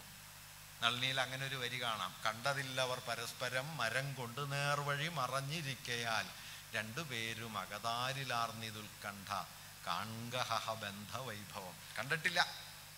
പക്ഷേ ബന്ധമുണ്ട്. അകതാരിലാർന്ന ഉത്കണ്ഠ അതിന്റെ പേരായിരുന്നു പ്രണയം. അതായത് ഞാനെന്ന സവിശേഷ വ്യക്തിയും നീയെന്ന സവിശേഷ വ്യക്തിയും നമുക്കിടയിൽ രൂപപ്പെടുന്ന അനന്യമായ ഭാവബന്ധവും എന്ന നിലയിലുള്ള പ്രണയം സാധ്യമാകണമെങ്കിൽ ലളിതമായി പറഞ്ഞാൽ ഉദ്ഗ്രഥിതമായ വ്യക്തിത്വം അതിന് മുൻപേ ഉണ്ടാവണം. ഉദ്ഗ്രഥിതവും ഏകാത്മകവുമായ വ്യക്തിഭാവന ഇപ്പുറത്തുണ്ടെങ്കിലാണ് ഈ അനന്യമായ വ്യക്തിബന്ധങ്ങളിൽ നിന്ന് പ്രണയാനുഭൂതി ഉണ്ടാവുള്ളൂ. രവിയെ സംബന്ധിച്ച് ആ ഉദ്ഗ്രഥിത വ്യക്തിത്വം അവസാനിച്ചു. എന്നെ അറിയുമോ? അറിയില്ല. അതുകൊണ്ട് രവിയുടെ പ്രണയനഷ്ടം എന്നത് പത്മയോടുള്ള കേവലമായ പ്രണയനഷ്ടമല്ല. മറിച്ച് പ്രണയം എന്ന അനുഭവത്തെ സാധ്യമാക്കുന്ന ചരിത്രപരമായ ഒരു ബന്ധത്തിന് പുറത്തേക്ക് അയാൾ തെറിച്ചു പോയിരിക്കുന്നു എന്നാണ്. ഇങ്ങനെ ഖസാക്കിലുടനീളം ചരിത്രം ഏറിയും മറിഞ്ഞും കിടപ്പുണ്ട്. രവി ഒരു സ്ഥലത്ത് പറയുന്ന ഒരു വാക്യമുണ്ട്. കയ്യൊപ്പിന്റെ ഉപയോഗം കുറഞ്ഞു വരുന്നു. കയ്യൊപ്പിടുന്നില്ല. കയ്യൊപ്പിന്റെ ഉപയോഗം കുറഞ്ഞു വരുന്നു. അല്പകാലം കൂടി കഴിയുമ്പോൾ ഉപയോഗശൂന്യമായ ഒരു അവയവം പോലെ അത് നിരർത്ഥകമായി തീരും. നോക്കൂ നിങ്ങൾ ശ്രദ്ധിച്ചറിയാം കയ്യൊപ്പ് എന്തിന്റെ അടയാളാണ് കയ്യൊപ്പ് ഒരു ശരീരമുദ്രയല്ല.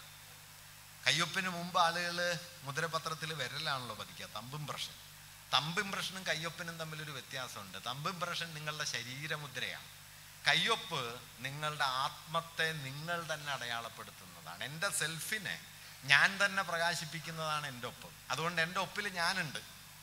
എന്റെ കൈ ഹസ്തമുദ്രയിൽ ഞാനുള്ളത് ശരീരപരമായിട്ടാണ്. എന്റെ കയ്യൊപ്പിൽ ഞാനുള്ളത് എന്റെ ആത്മം എന്ന നിലയിലാണ്. എന്റെ ഇന്നർ സെൽഫിനെ ഞാൻ എന്റെ ഒരു അടയാളമാക്കി മാറ്റുന്നതാണ് എന്റെ ഒപ്പ്. കയ്യൊപ്പ് അവസാനിക്കുന്നു എന്നത് ഈ ആന്തരിക ഭദ്രതയുള്ള വ്യക്തി സ്വത്വത്തിന്റെ ശൈഥില്യം കൂടിയാണ്. അങ്ങനെ ശിഥിലീകരിക്കപ്പെട്ട വ്യക്തിബോധം ശിഥിലീകൃതമാകുന്ന രാഷ്ട്രരൂപം ശിഥിലീകൃതമായി കൊണ്ടിരിക്കുന്ന വിജ്ഞാന വ്യവസ്ഥ ഇതെല്ലാം ഖസാക്കിൽ നമുക്ക് കാണാനായിട്ട് കഴിയും. ആധുനിക ജ്ഞാന വ്യവസ്ഥയുടെ അടയാളങ്ങൾ ഒന്നിനു പുറകെ മറ്റൊന്നായിട്ട് ഖസാക്കിൽ പരാജയപ്പെടുകയും ആധുനികമായൊരു ലോകബോധത്തെ ഖസാക്കിൽ ഉറപ്പിച്ചു നിർത്താനുള്ള ശ്രമങ്ങളിൽ രവി ഏർപ്പെടുന്ന രവിയും മറ്റുള്ളവരും അതിൽ പരാജയമടയുകയും ആധുനികപൂർവമായ ഖസാക്കിന്റെ ഒരു പ്രാചീനമായ വിശ്വാസ ലോകം അന്തിമ വിജയം നേടുകയല്ല അതിനെ വിശ്രദ്ധമാക്കുകയും ചെയ്യുന്നത് നമുക്ക് കാണാൻ പറ്റും. സൂക്ഷിച്ചു നോക്കിയാൽ ഞാൻ മൂന്ന് കാര്യങ്ങൾ പറയാം. ആധുനികത എന്ന് നമ്മൾ വിളിക്കുന്നതിന്റെ ആധാരമായ മൂന്ന് പ്രമാണ തത്വങ്ങളുണ്ട്. ഒന്ന് ആദിമധ്യാന്ത പൊരുത്തമുള്ള ഉദ്ഗ്രഥിത സ്വഭാവമുള്ള വ്യക്തി എന്നത്. രണ്ട് യുക്തിബോധത്തിൽ അധിഷ്ഠിതമായ ശാസ്ത്രീയമെന്ന് വിളിക്കുന്ന ജ്ഞാനം എന്നത്. മൂന്ന് അതിർത്തികളും ആ അതിർത്തികൾക്കകത്തുള്ള സുനിശ്ചിതമായ ജീവിത ബന്ധങ്ങളിലും അടിയുറച്ച രാഷ്ട്രം എന്ന സങ്കല്പം വാസ്തവത്തിൽ ആധുനികതയുടെ ആധാര സ്വത്വങ്ങൾ ഇത് മൂന്നുമാണ്. വ്യക്തി യുക്തിബോധവും ശാസ്ത്രവും ദേശരാഷ്ട്രം. ഈ മൂന്ന് ഘടകങ്ങളും ഖസാക്കിലേക്ക് നോക്കിയാൽ ഖസാക്കിൽ ഇതെല്ലാം അഴിഞ്ഞു പോകും ഖസാക്കിന് അങ്ങനെ ഒരു പഞ്ചായത്തിന്റെ അതിർത്തി ഇല്ല അതുകൊണ്ടാണ് ഞാൻ പറഞ്ഞത് അപ്പുറത്ത് ചെതലിമലയായിട്ടും ഇപ്പുറത്ത് കൂമങ്കാവായിട്ടും. കൂമങ്കാവിൽ നാഗരികത അവസാനിക്കുകയും ചെതലിമലയിൽ പ്രകൃതി ആരംഭിക്കുകയും ചെയ്യുന്നു. അതിനിടയിലെ അവ്യാഖ്യേയ സ്വഭാവമുള്ള ഒരു ഒരു സ്ഥലരാശിയായിട്ട് ഖസാക്ക് മാറുന്നു. അല്ലാതെ രാഷ്ട്രത്തിന്റെ യുക്തികളൊന്നും ഖസാക്കിൽ പ്രവർത്തിക്കുന്നില്ല. ഈ രാഷ്ട്രയുക്തികളൊന്നും പ്രവർത്തിക്കാത്ത മറ്റൊരു സ്ഥലത്തെ നമ്മുടെ എഴുത്തിൽ മുമ്പ് ഭാവന ചെയ്ത ഒരാൾ ബഷീറാണ്. സ്ഥലം. സ്ഥലത്തെ പ്രധാന ദിവ്യൻ. ആനവാരി രാമൻ നായർ പൊൻകുരിശ് തോമ മണ്ടം മുസ്തഫ ഒറ്റക്കണ്ണം പോക്കര് ഇങ്ങനെയുള്ള മനുഷ്യരൊക്കെ അലഞ്ഞു തിരിഞ്ഞ് നടക്കുന്ന ഒരു സ്ഥലമുണ്ട്. ആ സ്ഥലം കതിരാണി അതിരാണിപ്പാടം പോലെയോ എണ്ണപ്പാടം പോലെയോ ഉള്ള സ്ഥലമല്ല. അതിനൊരു വ്യത്യാസമുള്ളത് അതിരാണിപ്പാടം ഒരു ചെറിയ സ്ഥലമാണെങ്കിലും ദേശരാഷ്ട്രത്തിന്റെ ഒരു മിനിയേച്ചറാണത്. അവിടെ പോലീസ് സ്റ്റേഷൻ ഉണ്ട് അവിടെ തപാൽ ഓഫീസ് ഉണ്ട് അവിടെ ആധുനിക യുക്തിയുണ്ട്. ഒരു ചെറിയ സ്ഥലത്ത് നാഷൻ സ്റ്റേറ്റിന്റെ ഒരു മിനിയേച്ചറായി നിൽക്കുകയും അവിടെ മനുഷ്യർ ആധുനിക ജീവിതം ജീവിക്കുകയും ചെയ്യുന്നു. മറിച്ച് ബഷീറിന്റെ സ്ഥലത്ത് ദേശരാഷ്ട്രത്തിന്റെ യുക്തിയൊന്നുമില്ല. അവിടെ ആനവാരി രാമൻ നായർ ഒരു മൺവെട്ടിയായിട്ട് വന്നിട്ട് രാത്രി ആനയെ വാരിയെടുക്കാൻ ശ്രമിക്കും. അവിടെ പൊൻകുരിശ് തോമ മമ്മാസ്പർശിയായ ഒരു ചോദ്യം ചോദിക്കും. മരക്കുരിശി കിടന്ന് മരിച്ച കർത്താവിന് എന്തിനാണ് പൊൻകുരിശ് എന്നൊരു ചോദ്യം തോമ ചോദിക്കും.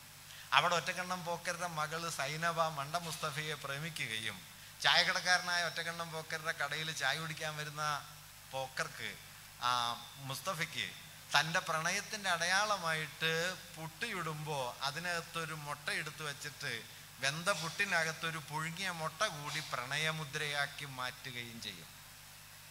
ഇത് ചെറിയ കാര്യമല്ല.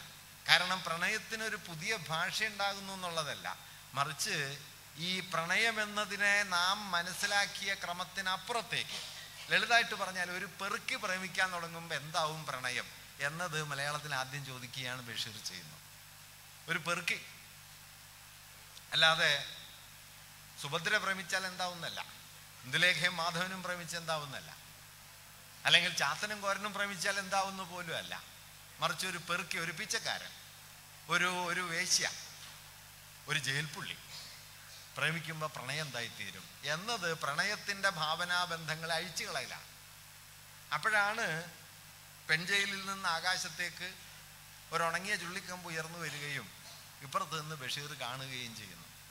ജീവനറ്റുപോയ ഒരു ഉണങ്ങിയ കമ്പ് കൊണ്ട് മനുഷ്യ ജീവിതത്തിലെ ഏറ്റവും ലോലലോലമായ ഒരു അനുഭവത്തെ ആവിഷ്കരിക്കുന്നു എന്നതാണ് വാസ്തവത്തിൽ അതിന്റെ വളരെ പ്രധാനപ്പെട്ട ഒരു കാര്യം. കാരണം നമ്മൾ പ്രണയത്തെ കണ്ടത് ഇങ്ങനെയുള്ള മനുഷ്യരിലല്ല. ഒരു പെർക്കിയുടെ പ്രണയം മലയാളത്തിൽ വരുന്നത് ഞാൻ പറഞ്ഞു വന്നത് ഈ ഖസാക്കിലെ എന്ന സ്ഥലരാശി ഉണ്ടല്ലോ അതിന്റെ പൂർവസ്ഥാനം അതിരാണിപ്പാടമോ എണ്ണപ്പാടമോ പോലുള്ള നാഷൻ സ്റ്റേറ്റിന്റെ മിനിയേച്ചറുകളല്ല നാഷൻ സ്റ്റേറ്റിന്റെ ഓൾട്ടർനേറ്റീവ് സ്പേസസ് എന്ന് വിളിക്കാവുന്ന ബഷീറിന്റെ സ്ഥലം പോലെയാണ്. ഒരുപക്ഷെ ആ ഖസാക്കിന്റെ പിൽക്കാലത്തൊരു തുടർച്ചയാണ് കോക്കാഞ്ചിറയായിട്ട് നമ്മുടെ നോവലിൽ വരുന്നത്. തൃശ്ശൂരിന് അതിരുത്ത തീട്ടപ്പാടം. അവിടെ മാനുഷിക യുക്തികൾക്കൊന്നും മാനുഷിക മൂല്യങ്ങൾക്കൊന്നും അതിന്റെ ആദരണീയ ക്രമങ്ങൾക്കൊന്നും ഒരിടവുമില്ല. അതുകൊണ്ട് ഈ ആധുനികതയുടെ ഈ സ്ഥലകൽപ്പനയ്ക്കുള്ളിൽ കടന്നു കയറി അവിടെ മറ്റൊരിട ഉണ്ടാക്കുകയല്ല അതിന് പുറത്തൊരു ഇട ഉണ്ടാക്കാൻ അതുകൊണ്ടാണ് ബസ് സ്റ്റോപ്പിൽ കുമങ്കാവിൽ ബസ് അവസാനിക്കും അപ്പുറത്ത് ഗസാക്ക പിന്നെ നടക്കണം. പിന്നെ പ്രകൃതിയാണ് പ്രകൃതിക്കും നാഗരികതയ്ക്കും ഇടയിലുള്ള ഒരു ഭാവനാ സ്ഥലമാണ്. യഥാർത്ഥത്തിലുള്ള സ്ഥലമാണ്. ഈ തസറാക്കൊന്നുമല്ല കേട്ടോ ഗസാക്ക് ആളുകൾ ഖസാക്ക് കാണാൻ വേണ്ടി പഞ്ചായത്തിലൊന്ന് അലിഞ്ഞിരിയുണ്ട്. അതുകൊണ്ട് പ്രത്യേകിച്ച് കാര്യമൊന്നുമില്ല. അതല്ല. മറിച്ച് ഈ നേഷൻ സ്റ്റേറ്റിന്റെയും നാഷണൽ മോഡേണിറ്റിയുടെയും ഒരു ക്രിട്ടിക് ഒരു പൊളിറ്റിക്കൽ ക്രിട്ടിക്കാണ് ഈ സ്ഥലം. അതിന്റെ യുക്തി പ്രവർത്തിക്കാത്ത സ്ഥലം. അതിന്റെ രാഷ്ട്രതന്ത്രം പ്രവർത്തിക്കാത്ത സ്ഥലം. അതിന്റെ ജ്ഞാനവ്യവസ്ഥ പ്രവർത്തിക്കാത്ത സ്ഥലം. അതിന്റെ കുടുംബഘടന പ്രവർത്തിക്കാത്ത സ്ഥലം. അതിന്റെ ആധാരങ്ങൾ ഒന്നും നിലനിൽക്കാത്ത സ്ഥലം. അതുകൊണ്ട് ഈ ആകാശ്വത്തെ പോലെ നടന്ന മൈമുന വാസ്തവത്തിൽ നമ്മുടെ നാഗരികത ക്രമപ്പെടുത്തി ഉണ്ടാക്കിയ വാസ്തവത്തിൽ നിങ്ങൾ ശ്രദ്ധിച്ചറിയാം. നമ്മുടെ നാഗരികതയ്ക്കുള്ളിൽ ഈ സ്ത്രീയുടെ മെരുക്കപ്പെട്ട ഒരു ഒരു കാമമുണ്ടല്ലോ രത്യാത്മകതയുണ്ടല്ലോ അതിന്റെ വിപരീത സ്ഥാനത്ത് നിൽക്കുന്ന സ്ത്രീയായി ഈ മൈമന. നമ്മുടെ നവോത്ഥാന ആധുനികത കുടുംബം എന്ന സംവിധാനത്തിനകത്ത് മെരുക്കി വച്ച ഈ സ്ത്രൈണ രത്യാത്മകത. വിജയൻ എഴുതിയ പ്രയോഗം അതായിരുന്നു. യാകാശ്വത്തെ പോലെ. ആരൊരാളൻ കുതിരയെ കെട്ടുവാൻ പണ്ട് നമ്മുടെ വയലാർ എഴുതിയിട്ടുണ്ട്. അത് മനുഷ്യന്റെ ഒരു വലിയ വീര്യത്തെക്കുറിച്ചായിരുന്നു. യാകാശ്വത്തെ പോലെ നടന്ന മൈമുന. ഒരു യുക്തിയിലേക്കും പ്രവേശിക്കാത്ത ഒരു വേഡ്സ്വർത്തിയൻ പ്രാകൃതി പ്രകൃതിയുടെ ആദിമ നിഷ്കളങ്കത പോലെ കുഞ്ഞാമിന. രണ്ടറ്റങ്ങളാ. ഈ രണ്ടറ്റങ്ങളുടെ സവിശേഷത അത് നാഷൻ സ്റ്റേറ്റിന്റെ മനുഷ്യപ്രകൃതത്തിന് പുറത്താണ് വേഡ്സ്വർത്തിന്റെ കേവല ഭാവനയുടെ പ്രകൃതി ഭാവനയുടെ ലോകത്താണ് മൈമനയുള്ളത്. നമ്മുടെ നാഗരികതയുടെ നവോത്ഥാന കുടുംബ ഭാവനയുടെ മറുപുറത്താണ് മൈമനയുള്ളത്. ഇത് രണ്ടിന്റെ ഇടയിൽ പക്ഷേ രവിയുണ്ട്. ഇത് രണ്ടിനെയും കൂട്ടിയണക്കുന്ന ഒരു ഘടകം രവിയാണ് മൈമനെയും കുഞ്ഞാമനെയും കൂട്ടിയണക്കുന്ന ഒരു ഘടകം. ഇപ്പം ഞാൻ പറഞ്ഞു വന്നത് ഇങ്ങനെ ഒരു സ്ഥലരാശി എന്ന നിലയ്ക്ക് വിജ്ഞാന വ്യവസ്ഥ എന്ന നിലയ്ക്ക് രാഷ്ട്രരൂപം എന്ന നിലയ്ക്ക് ഒക്കെ ഖസാക്കിനെ നോക്കിയാൽ ഖസാക്ക് ആധുനികതയുടെ അടിസ്ഥാന ഘടനയോട് നിരന്തരം വിമർശനാത്മകമായി ഇടപെടുന്നുണ്ടെന്ന് കാണാം. ഖസാക്കിന്റെ രാഷ്ട്രീയമായ ചരിത്രപരമായ വലിയ ഉള്ളടക്കം വാസ്തവത്തിൽ ആ പ്രശ്നങ്ങളിലാണ് കിടക്കുന്നത്. അതിനൊരു ഉത്തരവൊന്നുമില്ല കേട്ടോ. എല്ലാത്തിനും ഉത്തരം പറയൽ നോവലിന്റെ പണിയൊന്നുമല്ല. അത് പൊളിറ്റിക്കൽ സയന്റിസ്റ്റുകൾ ആലോചിക്കേണ്ട കാര്യമാണ്. അല്ലാതെ ഈ നോവലിൽ എന്താണ് ഉത്തരം എന്ന് ചോദിച്ചു കഴിഞ്ഞാൽ ദാ ഇത്രയൊക്കെ പ്രശ്നങ്ങളുണ്ട്. ഈ വൈരുദ്ധ്യങ്ങളുണ്ട്. ആ വൈരുദ്ധ്യങ്ങളുടെ നടുവിൽ നിങ്ങളുമുണ്ട്.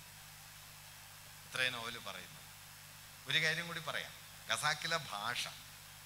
ഖസാക്കിലെ ഭാഷയ്ക്കും ഈ ഉഭയ സ്വഭാവമുണ്ട്. ഈ രണ്ട് ലോകങ്ങൾക്കിടയിലെ ജീവിതം ഖസാക്കിന്റെ ഭാഷയ്ക്കുണ്ട്. ഖസാക്കിൽ മൂന്ന് തരം ഭാഷണങ്ങൾ ഒറ്റ നോട്ടത്തിൽ കാണാം. ഒന്ന് ഒ വി വിജയന്റെ നേരിട്ടുള്ള ആഖ്യാനങ്ങളാണ്. അപ്പം ആദ്യവാക്യം അങ്ങനെയാണല്ലോ. കൂമൻകാവിൽ ബസ് ഇറങ്ങിയപ്പോൾ രവിക്ക് ആ സ്ഥലം അപരിചിതമായി തോന്നിയില്ല. ഇതുപോലെ പ്രസിദ്ധമായ ഒരു ആദ്യവാക്യം മലയാളത്തിലില്ല. എന്റെ നാട്ടിലെ ഒരു ഞാൻ ഈ നോവൽ ആദ്യം വായിക്കുന്നത് ഒരു ലൈബ്രറിയിൽ നിന്നാണ്. അപ്പം എന്റെ നാട്ടിൽ കൂനമ്മാവ് എന്ന് പറഞ്ഞ സ്ഥലമുണ്ട്. അപ്പോൾ വായിച്ച ഏതോ ഒരു സരസൻ കൂമങ്കാവ് വെട്ടിയിട്ട് കൂനമ്മാവ് ആക്കി വെച്ചിട്ടുണ്ടായിരുന്നു. അതുകൊണ്ട് ഈ നോവൽ വായിക്കുമ്പോൾ തന്നെ ഞാൻ അങ്ങനെ വായിച്ചു തുടങ്ങിയത് കൂനമ്മാവിൽ ബസ് ഇറങ്ങിയപ്പോൾ ആ സ്ഥലം അപരിചിതമായി തോന്നിയില്ല. കുറേ കാലം കഴിഞ്ഞിട്ടാണ് ഇത് കൂനമ്മാവല്ല ഇത് കൂമങ്കാവാണ് എന്ന് ഞാൻ മനസ്സിലാക്കിയത്. അങ്ങനെ ഒരു തെറ്റിദ്ധാരണയല്ല ഇത് തുടങ്ങിയത് തന്നെ. ഒരു പക്ഷേ ആ തെറ്റിദ്ധാരണ ഇപ്പോഴും തുടരുന്നു എന്നും പറയാം. ഇങ്ങനെയുള്ള നരേഷൻ ഉണ്ട്. നോവലിൽ താരതമ്യേന കുറഞ്ഞ ഭാഗങ്ങളിലെ ഇത്തരം വിവരണങ്ങളുള്ളൂ അച്ഛന്റെ റബ്ബർ എസ്റ്റേറ്റ് അച്ഛന്റെ എസ്റ്റേറ്റിലെ ജോലിയെക്കുറിച്ചോ അല്ലെങ്കിൽ അങ്ങനെയുള്ള കാര്യങ്ങളെക്കുറിച്ച് പറയുന്ന സമയത്ത് വിജയൻ പിന്തുടരുന്ന ഒരു ആഖ്യാന ഭാഷയാണ് താരതമ്യേന വിവരണ സ്വഭാവമുള്ള പേഴ്സൺ നെറേറ്റീവിന്റെ ക്യാരക്ടർ മെയിന്റെയിൻ ചെയ്യുന്ന ഒരു ഭാഷ രണ്ടാമത്തെ ഒരു ഭാഷണ രൂപം എന്ന് പറയുന്നത് ഗസാക്കിലെ മനുഷ്യരുടെ ഭാഷയാണ് അള്ളാപ്പിച്ചമല്ലാക്കയും അല്ലെങ്കിൽ കോടച്ചിയും കുട്ടാടം പൂശാരിയും ഒക്കെ സംസാരിക്കുന്ന തദ്ദേശീയ ഭാഷയുടെ അതിപ്രബലമായ ഒരു ലോകം കസാക്കിലുണ്ട് ഒരു പക്ഷേ ഖസാക്കിൽ തെളിഞ്ഞു നിൽക്കുന്നത് അതിപ്രബലമായി നമുക്ക് തോന്നുന്ന ഒരു ഭാഷണ രൂപം ഈ രണ്ടാമത്തെ തദ്ദേശീയ ഭാഷണ. മൂന്നാമതൊരു ഭാഷണം വിജയൻ തന്നെ ഉണ്ടാക്കിയതാണെങ്കിലും വിജയന്റെ first person narrative sorry third person narrative ആണെന്നൊന്നും നമുക്ക് പറയാൻ പറ്റാത്ത വിജയൻ ഉണ്ടാക്കിയ ഒരു മാന്ത്രിക ഭാഷയാണ്. അല്ലേ? സായാഹ്ന യാത്രകളുടെ അച്ഛ. മന്ദാര ഇലകൾ ചേർത്ത് തുന്നിയ പുനർജനിയുടെ കൂടുവിട്ട് ഞാൻ യാത്രയാവുകയാണ്. എന്നതുപോലുള്ള മായികമായ കൽപ്പനകൾ ഒന്നിനു പുറകെ ഒന്നായിട്ട് വന്ന് നിറയ്ക്കുന്ന ഏതെങ്കിലും ചരിത്ര യാഥാർത്ഥ്യത്തിൽ വേരില്ലാത്ത അതിഭൗതികമായ ഒരു ഭാഷ. ഈ മൂന്ന് ഭാഷകൾക്കും മൂന്ന് തരത്തിലുള്ള അടിസ്ഥാനങ്ങളുണ്ട്. ഖസാക്കിലെ ഭാഷ അവിടുത്തെ നാട്ടുജീവിതത്തിലെ ഭാഷയാണ്. വിജയന്റെ ഭാഷ ആധുനിക കേരളീയ സമൂഹം സാമാന്യനെ വികസിപ്പിച്ചു കൊണ്ടുവന്ന വിവരണ ഭാഷയാണ്. കേരളീയ മധ്യവർഗ ജീവിതത്തിന്റെ യുക്തിനിഷ്ഠമായ ഭാഷയിലാണ് അതിന്റെ പേര്. മറിച്ച് ഞാൻ ഈ മൂന്നാമത് പറഞ്ഞ ഭാഷയുണ്ടല്ലോ. ആ ഭാഷയ്ക്ക് ചരിത്രത്തിൽ വേറൊന്നുമില്ല. ചരിത്രശൂന്യമായി നിൽക്കുന്ന ഒരു ഭാഷണമാണ് അത്. ചരിത്രശൂന്യം എന്ന് ഞാൻ അപേക്ഷിക അർത്ഥത്തിൽ കേട്ടോ. കാരണം ആ ഭാഷയെ നിങ്ങൾക്ക് എവിടെയെങ്കിലും കൊണ്ടുപോയി പ്രതിഷ്ഠിക്കാൻ പറ്റില്ല. തികച്ചും കവിതയിൽ മാത്രം അർത്ഥം ഉണ്ടാവുന്ന. അപ്പം എന്റെ ഒരു സുഹൃത്ത് എന്നോട് തർക്കമധ്യേ പറഞ്ഞത് ഈ മുങ്ങാങ്കോഴിയുടെ മരണം ഉണ്ടല്ലോ. ജലത്തിന്റെ വിള്ളീസ് പഴുതുകൾ മാറ്റി അയാൾ ഊളിയിട്ടു എന്നൊക്കെ പറഞ്ഞ്. അപ്പോൾ എന്റെ ഒരു സുഹൃത്ത് എന്നോട് വഴക്കിട്ടത് ഇങ്ങനെയാണ് ഒരാൾ ആത്മഹത്യ ചെയ്യുന്നത്? വാസ്തവത്തിൽ ആത്മഹത്യ അല്ലല്ലോ. നല്ല കലയിൽ വാക്കിന് എന്ത് സംഭവിക്കുന്നു? വാക്ക് അതിന്റെ അർത്ഥമണ്ഡലത്തെ ഭേദിച്ച് വേറൊന്നായി തീരുന്നു. അല്ലാതെ അർത്ഥം പറയാനല്ല കവിതയിൽ വാക്ക്. സാഹിത്യത്തിലെ വാക്ക് എന്ന് പറയുന്നത് അതിന്റെ അർത്ഥത്തിൽ അവസാനിക്കുന്നതല്ല. അർത്ഥത്തിനപ്പുറത്തേക്ക് പോകുന്നതാണ്. പണ്ട് പ്രണയത്തെക്കുറിച്ച് എഴുതിയ കവിതകളിൽ ഒന്നിൽ ഒരു കവി പറയുന്നുണ്ട് the music we heard together was more than music എന്ന് പറയും. നമ്മൾ ഒരുമിച്ച് കേട്ട പാട്ട് പാട്ടിനേക്കാളും വലുതായിരുന്നു എന്ന് പറയും. കാരണം നമ്മൾ ഒരുമിച്ച് കേട്ടു. അപ്പം അത് പാട്ട് മാത്രമല്ല പാട്ടിൽ നീയും കൂടി കലർന്നു. അപ്പോൾ പാട്ടിനേക്കാളും വലുതായി. എന്നതുപോലെ കവിതയിൽ ഒരു വാക്ക് ചെന്ന് വീഴുമ്പോൾ അത് കവിതയിലെ വാക്കല്ല. സാമാന്യ വാക്കല്ല ആ കവിത കൊണ്ട് മാത്രം പൂർത്തിയാകുന്ന നള്ളിയിൽ നളിനി ആശ്രമത്തിലെത്തിയിട്ട് അഞ്ചു വർഷമായി ഇന്ന് ആശാൻ എഴുതുന്നത് അഞ്ചു കൊല്ലം കഴിഞ്ഞു എന്നല്ല. അതിൽ പിന്നെ അഞ്ചു വട്ടം ഇഹ പൂത്തുകാനനം എന്നാണ്. ഒരുപാട് കാലം കഴിഞ്ഞു പോയി ഇന്ന് കടമനിട്ടയുടെ തള്ളക്കോഴി കുഞ്ഞുങ്ങളോട് പറയണത് കാലം ഒരുപാട് കഴിഞ്ഞു എന്നല്ല. അന്ന് ഞാനും ഉടപ്പിറന്നോനും ഒന്നുപോലെ കഴിഞ്ഞ കുഞ്ഞുങ്ങൾ. അമ്മ ഞങ്ങളെ നെഞ്ചത്തടുക്കി ഉമ്മ വെച്ച് വളർത്തി എന്നാലും കൊത്തിമാറ്റി ഒരിക്കൽ അതിൽ പിന്നെ എത്ര രാവിന്റെ തൂവൽ കൊഴിഞ്ഞു. അതുകൊണ്ട് സവിശേഷമായ ഒരു അനുഭവ മൂല്യത്തെ സാമാന്യമായ അർത്ഥത്തിൽ നിറച്ചിട്ട് സാമാന്യ അർത്ഥത്തെ അതിനപ്പുറത്തേക്ക് തള്ളിവിടുന്ന പണിയാണ് സാഹിത്യത്തിലെ വാക്ക് ചെയ്യുന്നത്. ജലത്തിന്റെ വില്ലീസ് പടുതുകൾ വകഞ്ഞു മാറ്റി അയാൾ ഊളിയിട്ടു. നക്ഷത്രഖചിതമായ ആകാശത്തിലേക്ക്. ഇങ്ങനെ മാന്ത്രികമെന്നോ മായികമെന്നോ അതിഭൗതികമെന്നോ ഒക്കെ വിശേഷിപ്പിക്കാവുന്ന അധ്യാത്മധ്വനികൾ ധാരാളമായി നിറഞ്ഞു നിൽക്കുന്ന ഒരു സവിശേഷ ഭാഷ വിജയൻ ഉണ്ടാക്കിയെടുക്കുന്നുണ്ട്. ഇതിലേത് ഭാഷയാണ് ഈ നോവലിൽ മേൽക്കൈ നേടിയത് എന്നും നിങ്ങൾക്ക് നോവലിൽ നോക്കാവുന്നതാണ്. അതുകൂടി നോക്കണം എന്നാണ് ഞാൻ പറയുന്നത്. ഒന്നാമത്തേതല്ല കാരണം അത് വളരെ കുറച്ചേ ഉള്ളൂ. അതിന് ആ നോവലിൽ നിർണായകമായ ഒരു സാന്നിധ്യമൊന്നും കൈവന്നിട്ടില്ല. രണ്ടാമത്തതും മൂന്നാമത്തതുമായ പ്രതലങ്ങൾ നോവലിൽ വളരെ ശക്തമാണ്. ഖസാക്കിലെ നാട്ടുഭാഷ ശക്തമാണ് വിജയന്റെ ആഖ്യാന ഭാഷയും ശക്തമാണ്. നിങ്ങൾ ശ്രദ്ധിച്ചറിയാം ഖസാക്ക് വായനയുടെ വ്യത്യസ്ത ചരിത്രഘട്ടങ്ങളിൽ ഈ ഭാഷണക്രമങ്ങളിൽ ഒന്ന് ഉയർന്നു വരികയും മറ്റൊന്ന് പിൻവാങ്ങുകയും ചെയ്തിട്ടുണ്ട്. തൊള്ളായിരത്തി എഴുപതുകൾ മുതൽ ഏതാണ്ട് രണ്ടായിരം വരെയുള്ള നമ്മുടെ നവീന നിരൂപണത്തിന്റെ വ്യാഖ്യാന പദ്ധതിക്കുള്ളിൽ പ്രബലമായിരുന്നത് ഖസാക്കിലെ വിജയൻ സൃഷ്ടിച്ച അതിഭൗതിക ഭാഷയാണെങ്കിൽ കഴിഞ്ഞൊരു കാൽനൂറ്റാണ്ടെങ്കിലുമായി ഖസാക്കിൽ തെളിഞ്ഞുകൊണ്ടേയിരിക്കുന്നത് ഈ അതിഭൗതിക ഭാഷയല്ല തദ്ദേശീയ ഭാഷയാണ്. ഈ രണ്ട് ഭാഷണക്രമങ്ങളും ഉണ്ട്. ഖസാക്കിൽ ഏതെങ്കിലും ഒന്ന് അന്തിമ വിജയം നേടിയെന്ന് ഞാൻ പറയുന്നില്ല. പക്ഷേ ഞാൻ നരേഷന്റെ ഒരു ലോജിക്ക് ഇങ്ങനെ വെറുതെ സൂക്ഷിച്ചു നോക്കുമ്പോൾ ഖസാക്കിൽ ഈ നാട്ടുഭാഷ എവിടെയൊക്കെയാണോ വരുന്നത് അതിന്റെ മുന്നിലും പിന്നിലുമായി തന്റെ അതിഭൗതിക ഭാഷയുടെ വലിയൊരു വിന്യാസം വിജയം നടത്തുന്നുണ്ട്. അത് വളരെ സവിശേഷമാണ്. നിങ്ങൾ ഇനി ഖസാക്ക് വായിക്കുമ്പോൾ അങ്ങനെ സൂക്ഷിച്ചു നോക്കിയാൽ കാണാം. കാരണം ഈ നാട്ടുഭാഷയെ ഒറ്റയ്ക്ക് നിൽക്കാനായിട്ട് മൂപ്പർ അനുവദിക്കില്ല. ഇപ്പോൾ മുങ്ങാങ്കുഴിയുടെ പാട്ട് മുങ്ങാങ്കുഴിയുടെ പാട്ട് തികച്ചും തദ്ദേശീയാണ് തലമൂത്ത മീനെ എന്റെ ചേറം മീനെ എന്റെ മണികൊണ്ടത്തായോ ഒരു മണി കൊണ്ടത്തായോ പക്ഷെ അത് കഴിഞ്ഞിട്ട് വരുന്നൊരു കാര്യമുണ്ടല്ലോ. അയാൾ ഊളിയിട്ടു. ജലത്തിന്റെ വില്ലീസ് പടുതകൾ വകഞ്ഞു മാറ്റി. തുടർന്നുള്ള വിവരണ ഭാഷ ഈ പറയുന്ന ആദ്യത്തെ നാട്ടുഭാഷയോട് ഏതെങ്കിലും നിലയിൽ നേർക്ക് നേരെ യോജിക്കുന്നതല്ല എന്ന് മാത്രമല്ല ഈ നാട്ടുഭാഷയുടെ നാടോടിത്തത്തെ പ്രാദേശികതയെ പിന്നാലെ വരുന്ന അതിഭൗതിക ഭാഷ ഏതാണ്ട് വിഴുങ്ങും. അതുകൊണ്ട് ഈ അതി അതിഭൗതികതയിലേക്ക് ചാഞ്ഞു നിൽക്കുകയാണ്. നൈസാമലി സത്യം താനാ. നൈസാമലി സത്യം. മൊല്ലാക്ക സത്യം തന്നെ മൊല്ലാക്കയും സത്യം.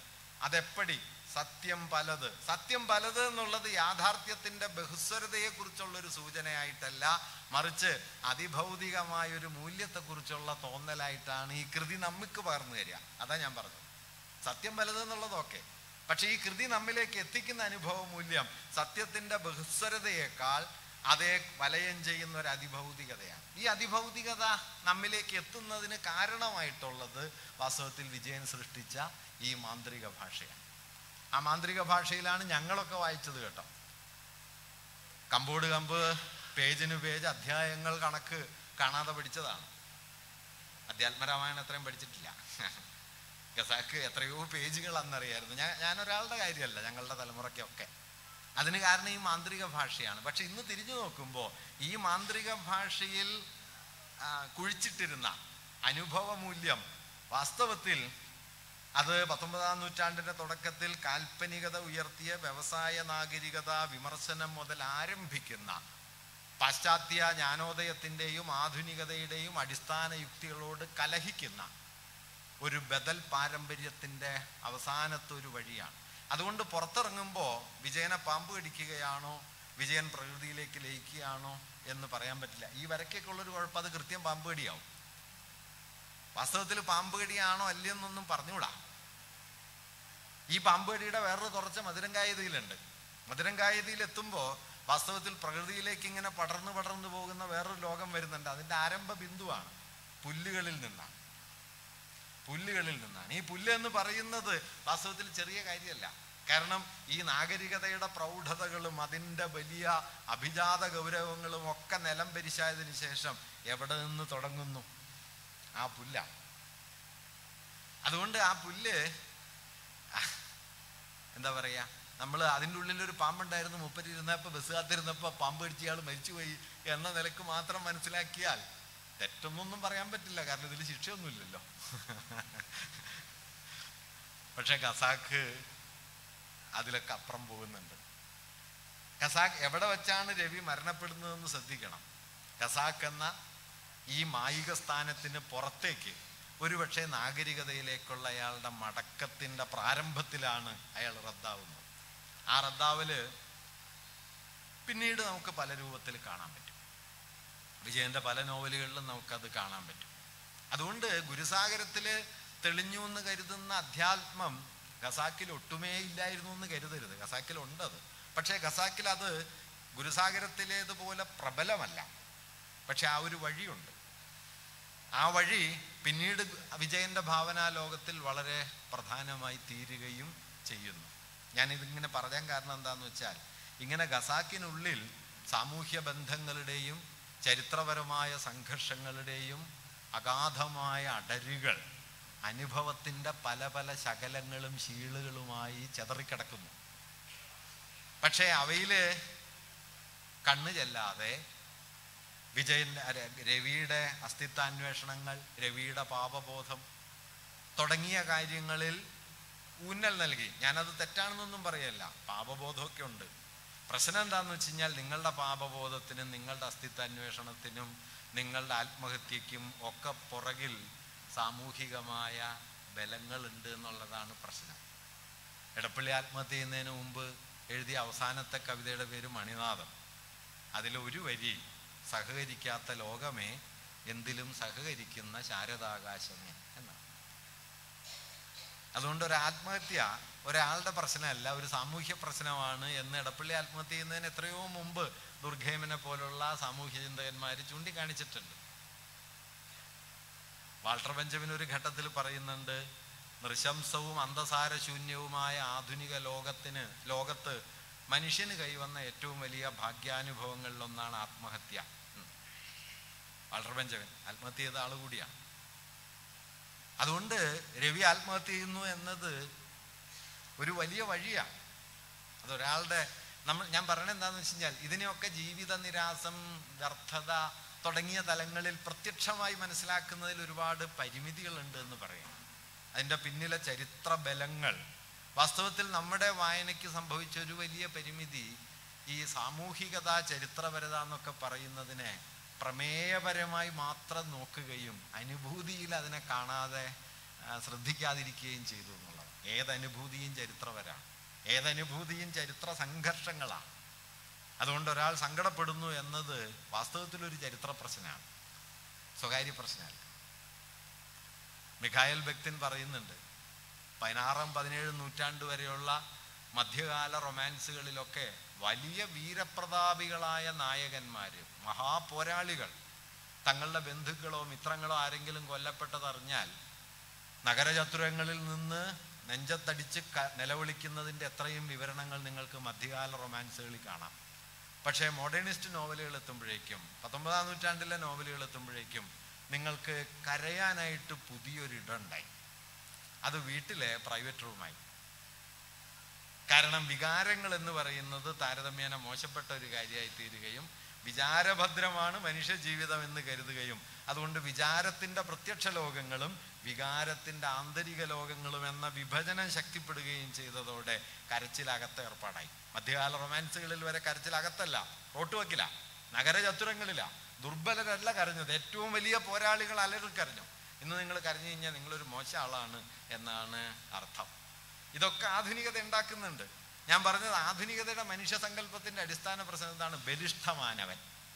ഈ ബലിഷ്ഠതയുടെ ശൈഥില്യമാണ് നിങ്ങൾ ഖസാക്കിൽ കാണുന്നത്. ഖസാക്കിൽ ഒരിടത്തായിട്ടല്ല ആധുനിക നോവലുകളിൽ പലയിടത്തും കാണുന്നത് ഈ ബലിഷ്ഠതയുടെ ശിഥിലീകരണമാണ്. ഈ ബലിഷ്ഠത അത്ര നല്ല ഗുണമല്ല എന്നാണ് ഒരുപക്ഷെ കേസരി പറഞ്ഞ ഒരു കാര്യം. ഒരുപക്ഷെ ഫ്രോയിഡ് പറയുന്ന ഒരു കാര്യം ഇതൊരു കൃത്രിമമായ സംഗതിയാണ് എന്ന്.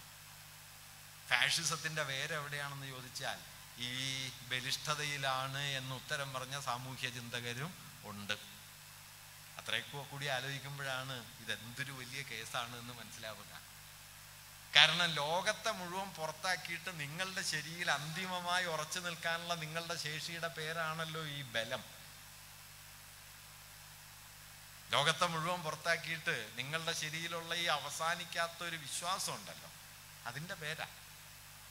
ആ വിശ്വാസം വളരെ ലളിതമായിട്ട് പറഞ്ഞാൽ അപരനിഷേധമാണ്. ആ അപരനിഷേധത്തിനെതിരെയുള്ള ഒരു ഒരു ഫ്രജൈലായ ഫ്ലൂയിഡായ ഐഡന്റിറ്റിയുടെ ഒരു തലം നിങ്ങൾക്ക് ഗസാക്കിലെ ധാരാളം മനുഷ്യരിൽ കാണാം. അത് ഏറ്റവും നന്നായി കാണുന്ന ഒരു കഥാപാത്രമാണ് നൈസാമലി. അയാളുടെ ഫ്ലൂയിഡിറ്റി അതാണ്. അയാൾ ഇതിനകത്ത് എന്താ പറയുക ഈ ലോകത്ത് നിൽക്കുന്നു പുറത്തു പോയിട്ട് അയാൾ ആധുനികതയുടെ ഒരു നടത്തിപ്പുകാരനാകുന്നു നേതാവാകുന്നു ജിന്ന് ബാധിക്കുന്നു തിരിച്ചു വരുന്നു ഖാലിയാരാകുന്നു ഖസാക്കിലെ ഈ ഫ്ലൂയിഡിറ്റി ഏറ്റവും നന്നായി ഉൾക്കൊണ്ട് അപ്പുറം ഇപ്പുറവും പോയി മടങ്ങിയ ഒരാളായിട്ട് ഗാലിയാര് തുടരുകയും ചെയ്യുന്നു. അങ്ങനെ ഓരോ കഥാപാത്രത്തിലും കഥാസന്ദർഭത്തിലും അനുഭവ സ്ഥാനങ്ങളിലും ഒക്കെ ആധുനികത എന്ന ആധുനികമായ നമ്മുടെ ലോകക്രമത്തിന്റെ ധാരാളം വൈരുദ്ധ്യങ്ങളും അതിലെ വിച്ഛേദങ്ങളും വിശലതാവസ്ഥകളും ഒക്കെ നമുക്ക് ആ നോവലിൽ സൂക്ഷിച്ചു നോക്കിയാൽ കാണാനായിട്ട് കഴിയും. ഞാൻ തുടക്കത്തിൽ പറഞ്ഞതുപോലെ നിർഭാഗ്യവശാൽ നമ്മുടെ നവനിരൂപണം ഇതിലൂന്നാതെ രവിയുടെ പാപബോധത്തിലും ഖസാക്കിലെ അതിഭൗതികമായ ഭാഷാ സ്വരൂപത്തിലും അത് നൽകുന്ന നിരാനന്ദത്തിന്റെ ചിരിയിലും ഒക്കെയായിട്ട് മേഞ്ഞ് നടന്നതുകൊണ്ട് ഞാൻ അതൊരു തെറ്റാണെന്ന് പറയല്ല. കാരണം ഒരു കൃതിക്ക് പല സാധ്യതയുണ്ട്. ആ സാധ്യതകളിൽ ഒന്ന് ഇത് തന്നെയാണ്. പക്ഷേ ഒരേ ഒരു സാധ്യത അതല്ല. നിർഭാഗ്യവശാൽ ഇത് സാധ്യതകളിൽ ഒന്നാണ് എന്നതിന് പകരം ഖസാക്കിന്റെ അന്തിമാർത്ഥം ഇതാണ്. അതുകൊണ്ട് ചരിത്രത്തിനും സമൂഹ ബന്ധങ്ങൾക്കും ഒക്കെ പുറത്ത് ഒറ്റ തിരിഞ്ഞ് നടക്കുന്ന ഏതോ ഒരാളുടെ മതിഭ്രമങ്ങളാണ് അതിൽ കൂടുതൽ വരുന്നത്. രവി ഒരു ജീർണ കഥാപാത്രമാണ് ജീർണ വ്യക്തിത്വമാണ്. എന്നൊക്കെ അക്കാലത്ത് മനസ്സിലാക്കപ്പെട്ടിരുന്നു.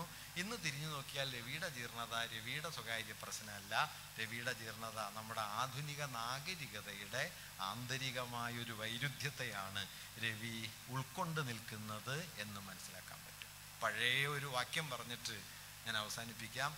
If you want to get into poetry first of all you have to get out of poetry and to get out of poetry you have to get into the history കവിതയ്ക്കകത്ത് കിടക്കണമെങ്കിൽ നിങ്ങൾ കവിതയ്ക്ക് പുറത്ത് കിടക്കണം. കവിതയ്ക്ക് പുറത്ത് കിടക്കണമെങ്കിൽ നിങ്ങൾ ചരിത്രത്തിനകത്ത് കിടക്കണം. ഒരു വാക്ക് ചരിത്രത്തിൽ നിന്ന് നിന്നൊരർത്ഥം ആർജിച്ച് കവിതയിലേക്ക് വരുമ്പോൾ ആ വാക്കിന്റെ അർത്ഥമണ്ഡലത്തെ ഈ വാക്ക് പൊളിച്ചു കളയും. ആ വാക്കിന്റെ അർത്ഥമണ്ഡലത്തിലൊന്നും അത് നിൽക്കില്ല ഇപ്പം ഞാൻ എന്നെ ഏറ്റവും കൂടുതൽ സ്പർശിച്ച ഒരു വാക്ക് ഞാൻ ഈശ്വരവിശ്വാസിയൊന്നുമല്ല. പക്ഷേ കുമാരനാശാന്റെ ചിന്താവിഷ്ടയായ സീതയിൽ സീത ഈശ്വര എന്ന് പറയുന്ന ഒരു സന്ദർഭമുണ്ട്. രാമൻ തന്നെ കാട്ടിൽ എറിച്ചതിനെ എറിഞ്ഞതിനെ കുറിച്ച് പറയുമ്പോൾ സീത പറയും പെരുകും പ്രണയാനുബന്ധമാം ഒരു പാശം വശമാക്കി ഈശ്വര. കുരുതിക്കുഴിയുന്നു നാരിയെ പുരുഷന്മാരുടെ ധീരമാനിത. അത്രയും ആഴത്തിൽ അത്രയും ഹൃദയസ്പർശിയായി അത്രയും വികാരോത്കടമായി ആ വാക്ക് മലയാള കവിതയിൽ ഒരു സ്ഥലത്തും പറയപ്പെട്ടിട്ടില്ല. വിളിക്കാവുന്നതിന്റെ പരമാവധി ശോകത്തോടെ ആകാവുന്നതിന്റെ പരമാവധി ദുഃഖഭാരത്തോടെ ചരിത്രം ആ വാക്കിന് കൊടുത്ത എല്ലാ അർത്ഥങ്ങളെയും തന്റെ ഈ അപാരമായ ദുഃഖത്തിൽ മുക്കി താഴ്ത്തിയിട്ടാണ്. പെരുകും പ്രണയാനുബന്ധമാം ഒരു പാശം വശമാക്കി ഈശ്വര എന്ന് സീത വിളിച്ചത്. ആ വാക്ക് നിങ്ങൾ സന്ധിക്ക് വിളിക്കണ ഈശ്വരനൊന്നുമല്ല. അത് ചരിത്രത്തിൽ എത്രയോ കാലം മനുഷ്യവംശം അനുഭവിച്ച യാതനകൾ മുഴുവൻ ഊറിക്കൂടി നിൽക്കുന്ന ഒരു സ്ഥാനമായിട്ട് ആ വാക്ക് മാറും. ഇങ്ങനെ മാറിയ വാക്കാണ് കവിതയിലെ വാക്ക്. ഇങ്ങനെ മാറിയ വാക്കാണ് സാഹിത്യത്തിലെ വാക്ക്. അതല്ലാതെ ഡിക്ഷണറിയിൽ അർത്ഥമായിരിക്കുന്ന വാക്കല്ല. അതുകൊണ്ട് വാക്കിനെ വിജയൻ എന്ത് ചെയ്തു? മന്ത്രവാദിയെ പോലെ ആവാഹിച്ചു കൊണ്ടുവന്ന് അതിനെ വേറൊന്നാക്കി മാറ്റി. മലയാളത്തിൽ അപൂർവ മനുഷ്യരെ അങ്ങനെ ചെയ്തിട്ടുള്ളൂ. ചങ്ങമ്പുഴയെ പോലെയോ ബഷീറിനെ പോലെയോ ആശാനെ പോലെയൊക്കെയുള്ള അപൂർവ മനുഷ്യർ അവർ ഭാഷയുടെ പുതിയൊരു ഭൂപടം സൃഷ്ടിച്ചിട്ട് അതിലെ എല്ലാ വാക്കുകളെയും വേറെ വേറെയാക്കി. വിജയൻ ഒരു വാങ്മയുണ്ടാക്കി. നമുക്കറിയാം സി വി രാമപിള്ള ഒരു വാങ്മയുണ്ടാക്കി ആശാൻ ഒരു വാങ്മയുണ്ടാക്കി ബഷീർ ഒരു വാങ്മയുണ്ടാക്കി. അതുപോലെ നമ്മുടെ ഭാഷയ്ക്കും നമ്മുടെ ഭാവനാ പ്രപഞ്ചത്തിനും കിട്ടിയ വലിയ ഒരു വഴിത്തിരിവിന്റെ പേരാണ് വാസ്തവത്തിൽ ഒ വി ജയനും അദ്ദേഹത്തിന്റെ ഖസാക്ക് എന്ന കൃതിയും. അതിനെ ആഴത്തിൽ ചരിത്രം കൂടിയായിട്ട് മനസ്സിലാക്കാൻ. ചരിത്രം എന്നത് ഭൂതകാലത്തെക്കുറിച്ചുള്ള ഏതോ ചില വിവരപ്പട്ടികയാണ് എന്നൊന്നും കരുതരുത്. മറിച്ച് സാഹിത്യത്തെക്കുറിച്ച് എന്റെ സഹപ്രവർത്തനം കൂടിയായ പി പവിത്രൻ പറഞ്ഞ ഒരു മനോഹരായ വാക്യമുണ്ട്. മനുഷ്യന്റെ ആത്മനിഷ്ഠതയുടെ ചരിത്രമാണ് സാഹിത്യം. ഈ കല്ലിലും കെട്ടിടത്തിലും കൊട്ടാരത്തിലും മണ്ണിലും ഭരണരേഖകളിലും മനുഷ്യന്റെ ഭൗതിക ജീവിതത്തിന്റെ മുദ്രകളുണ്ടെങ്കിൽ ദാ എങ്ങനെ ജീവിച്ചു? ആന്തരികമായി എന്തായിരുന്നു? എന്ന് മനുഷ്യവംശം ലോകത്തോട് പറയുന്നത് ഈ എഴുതി വെച്ച കഥയും നോവലായിട്ടാണ്.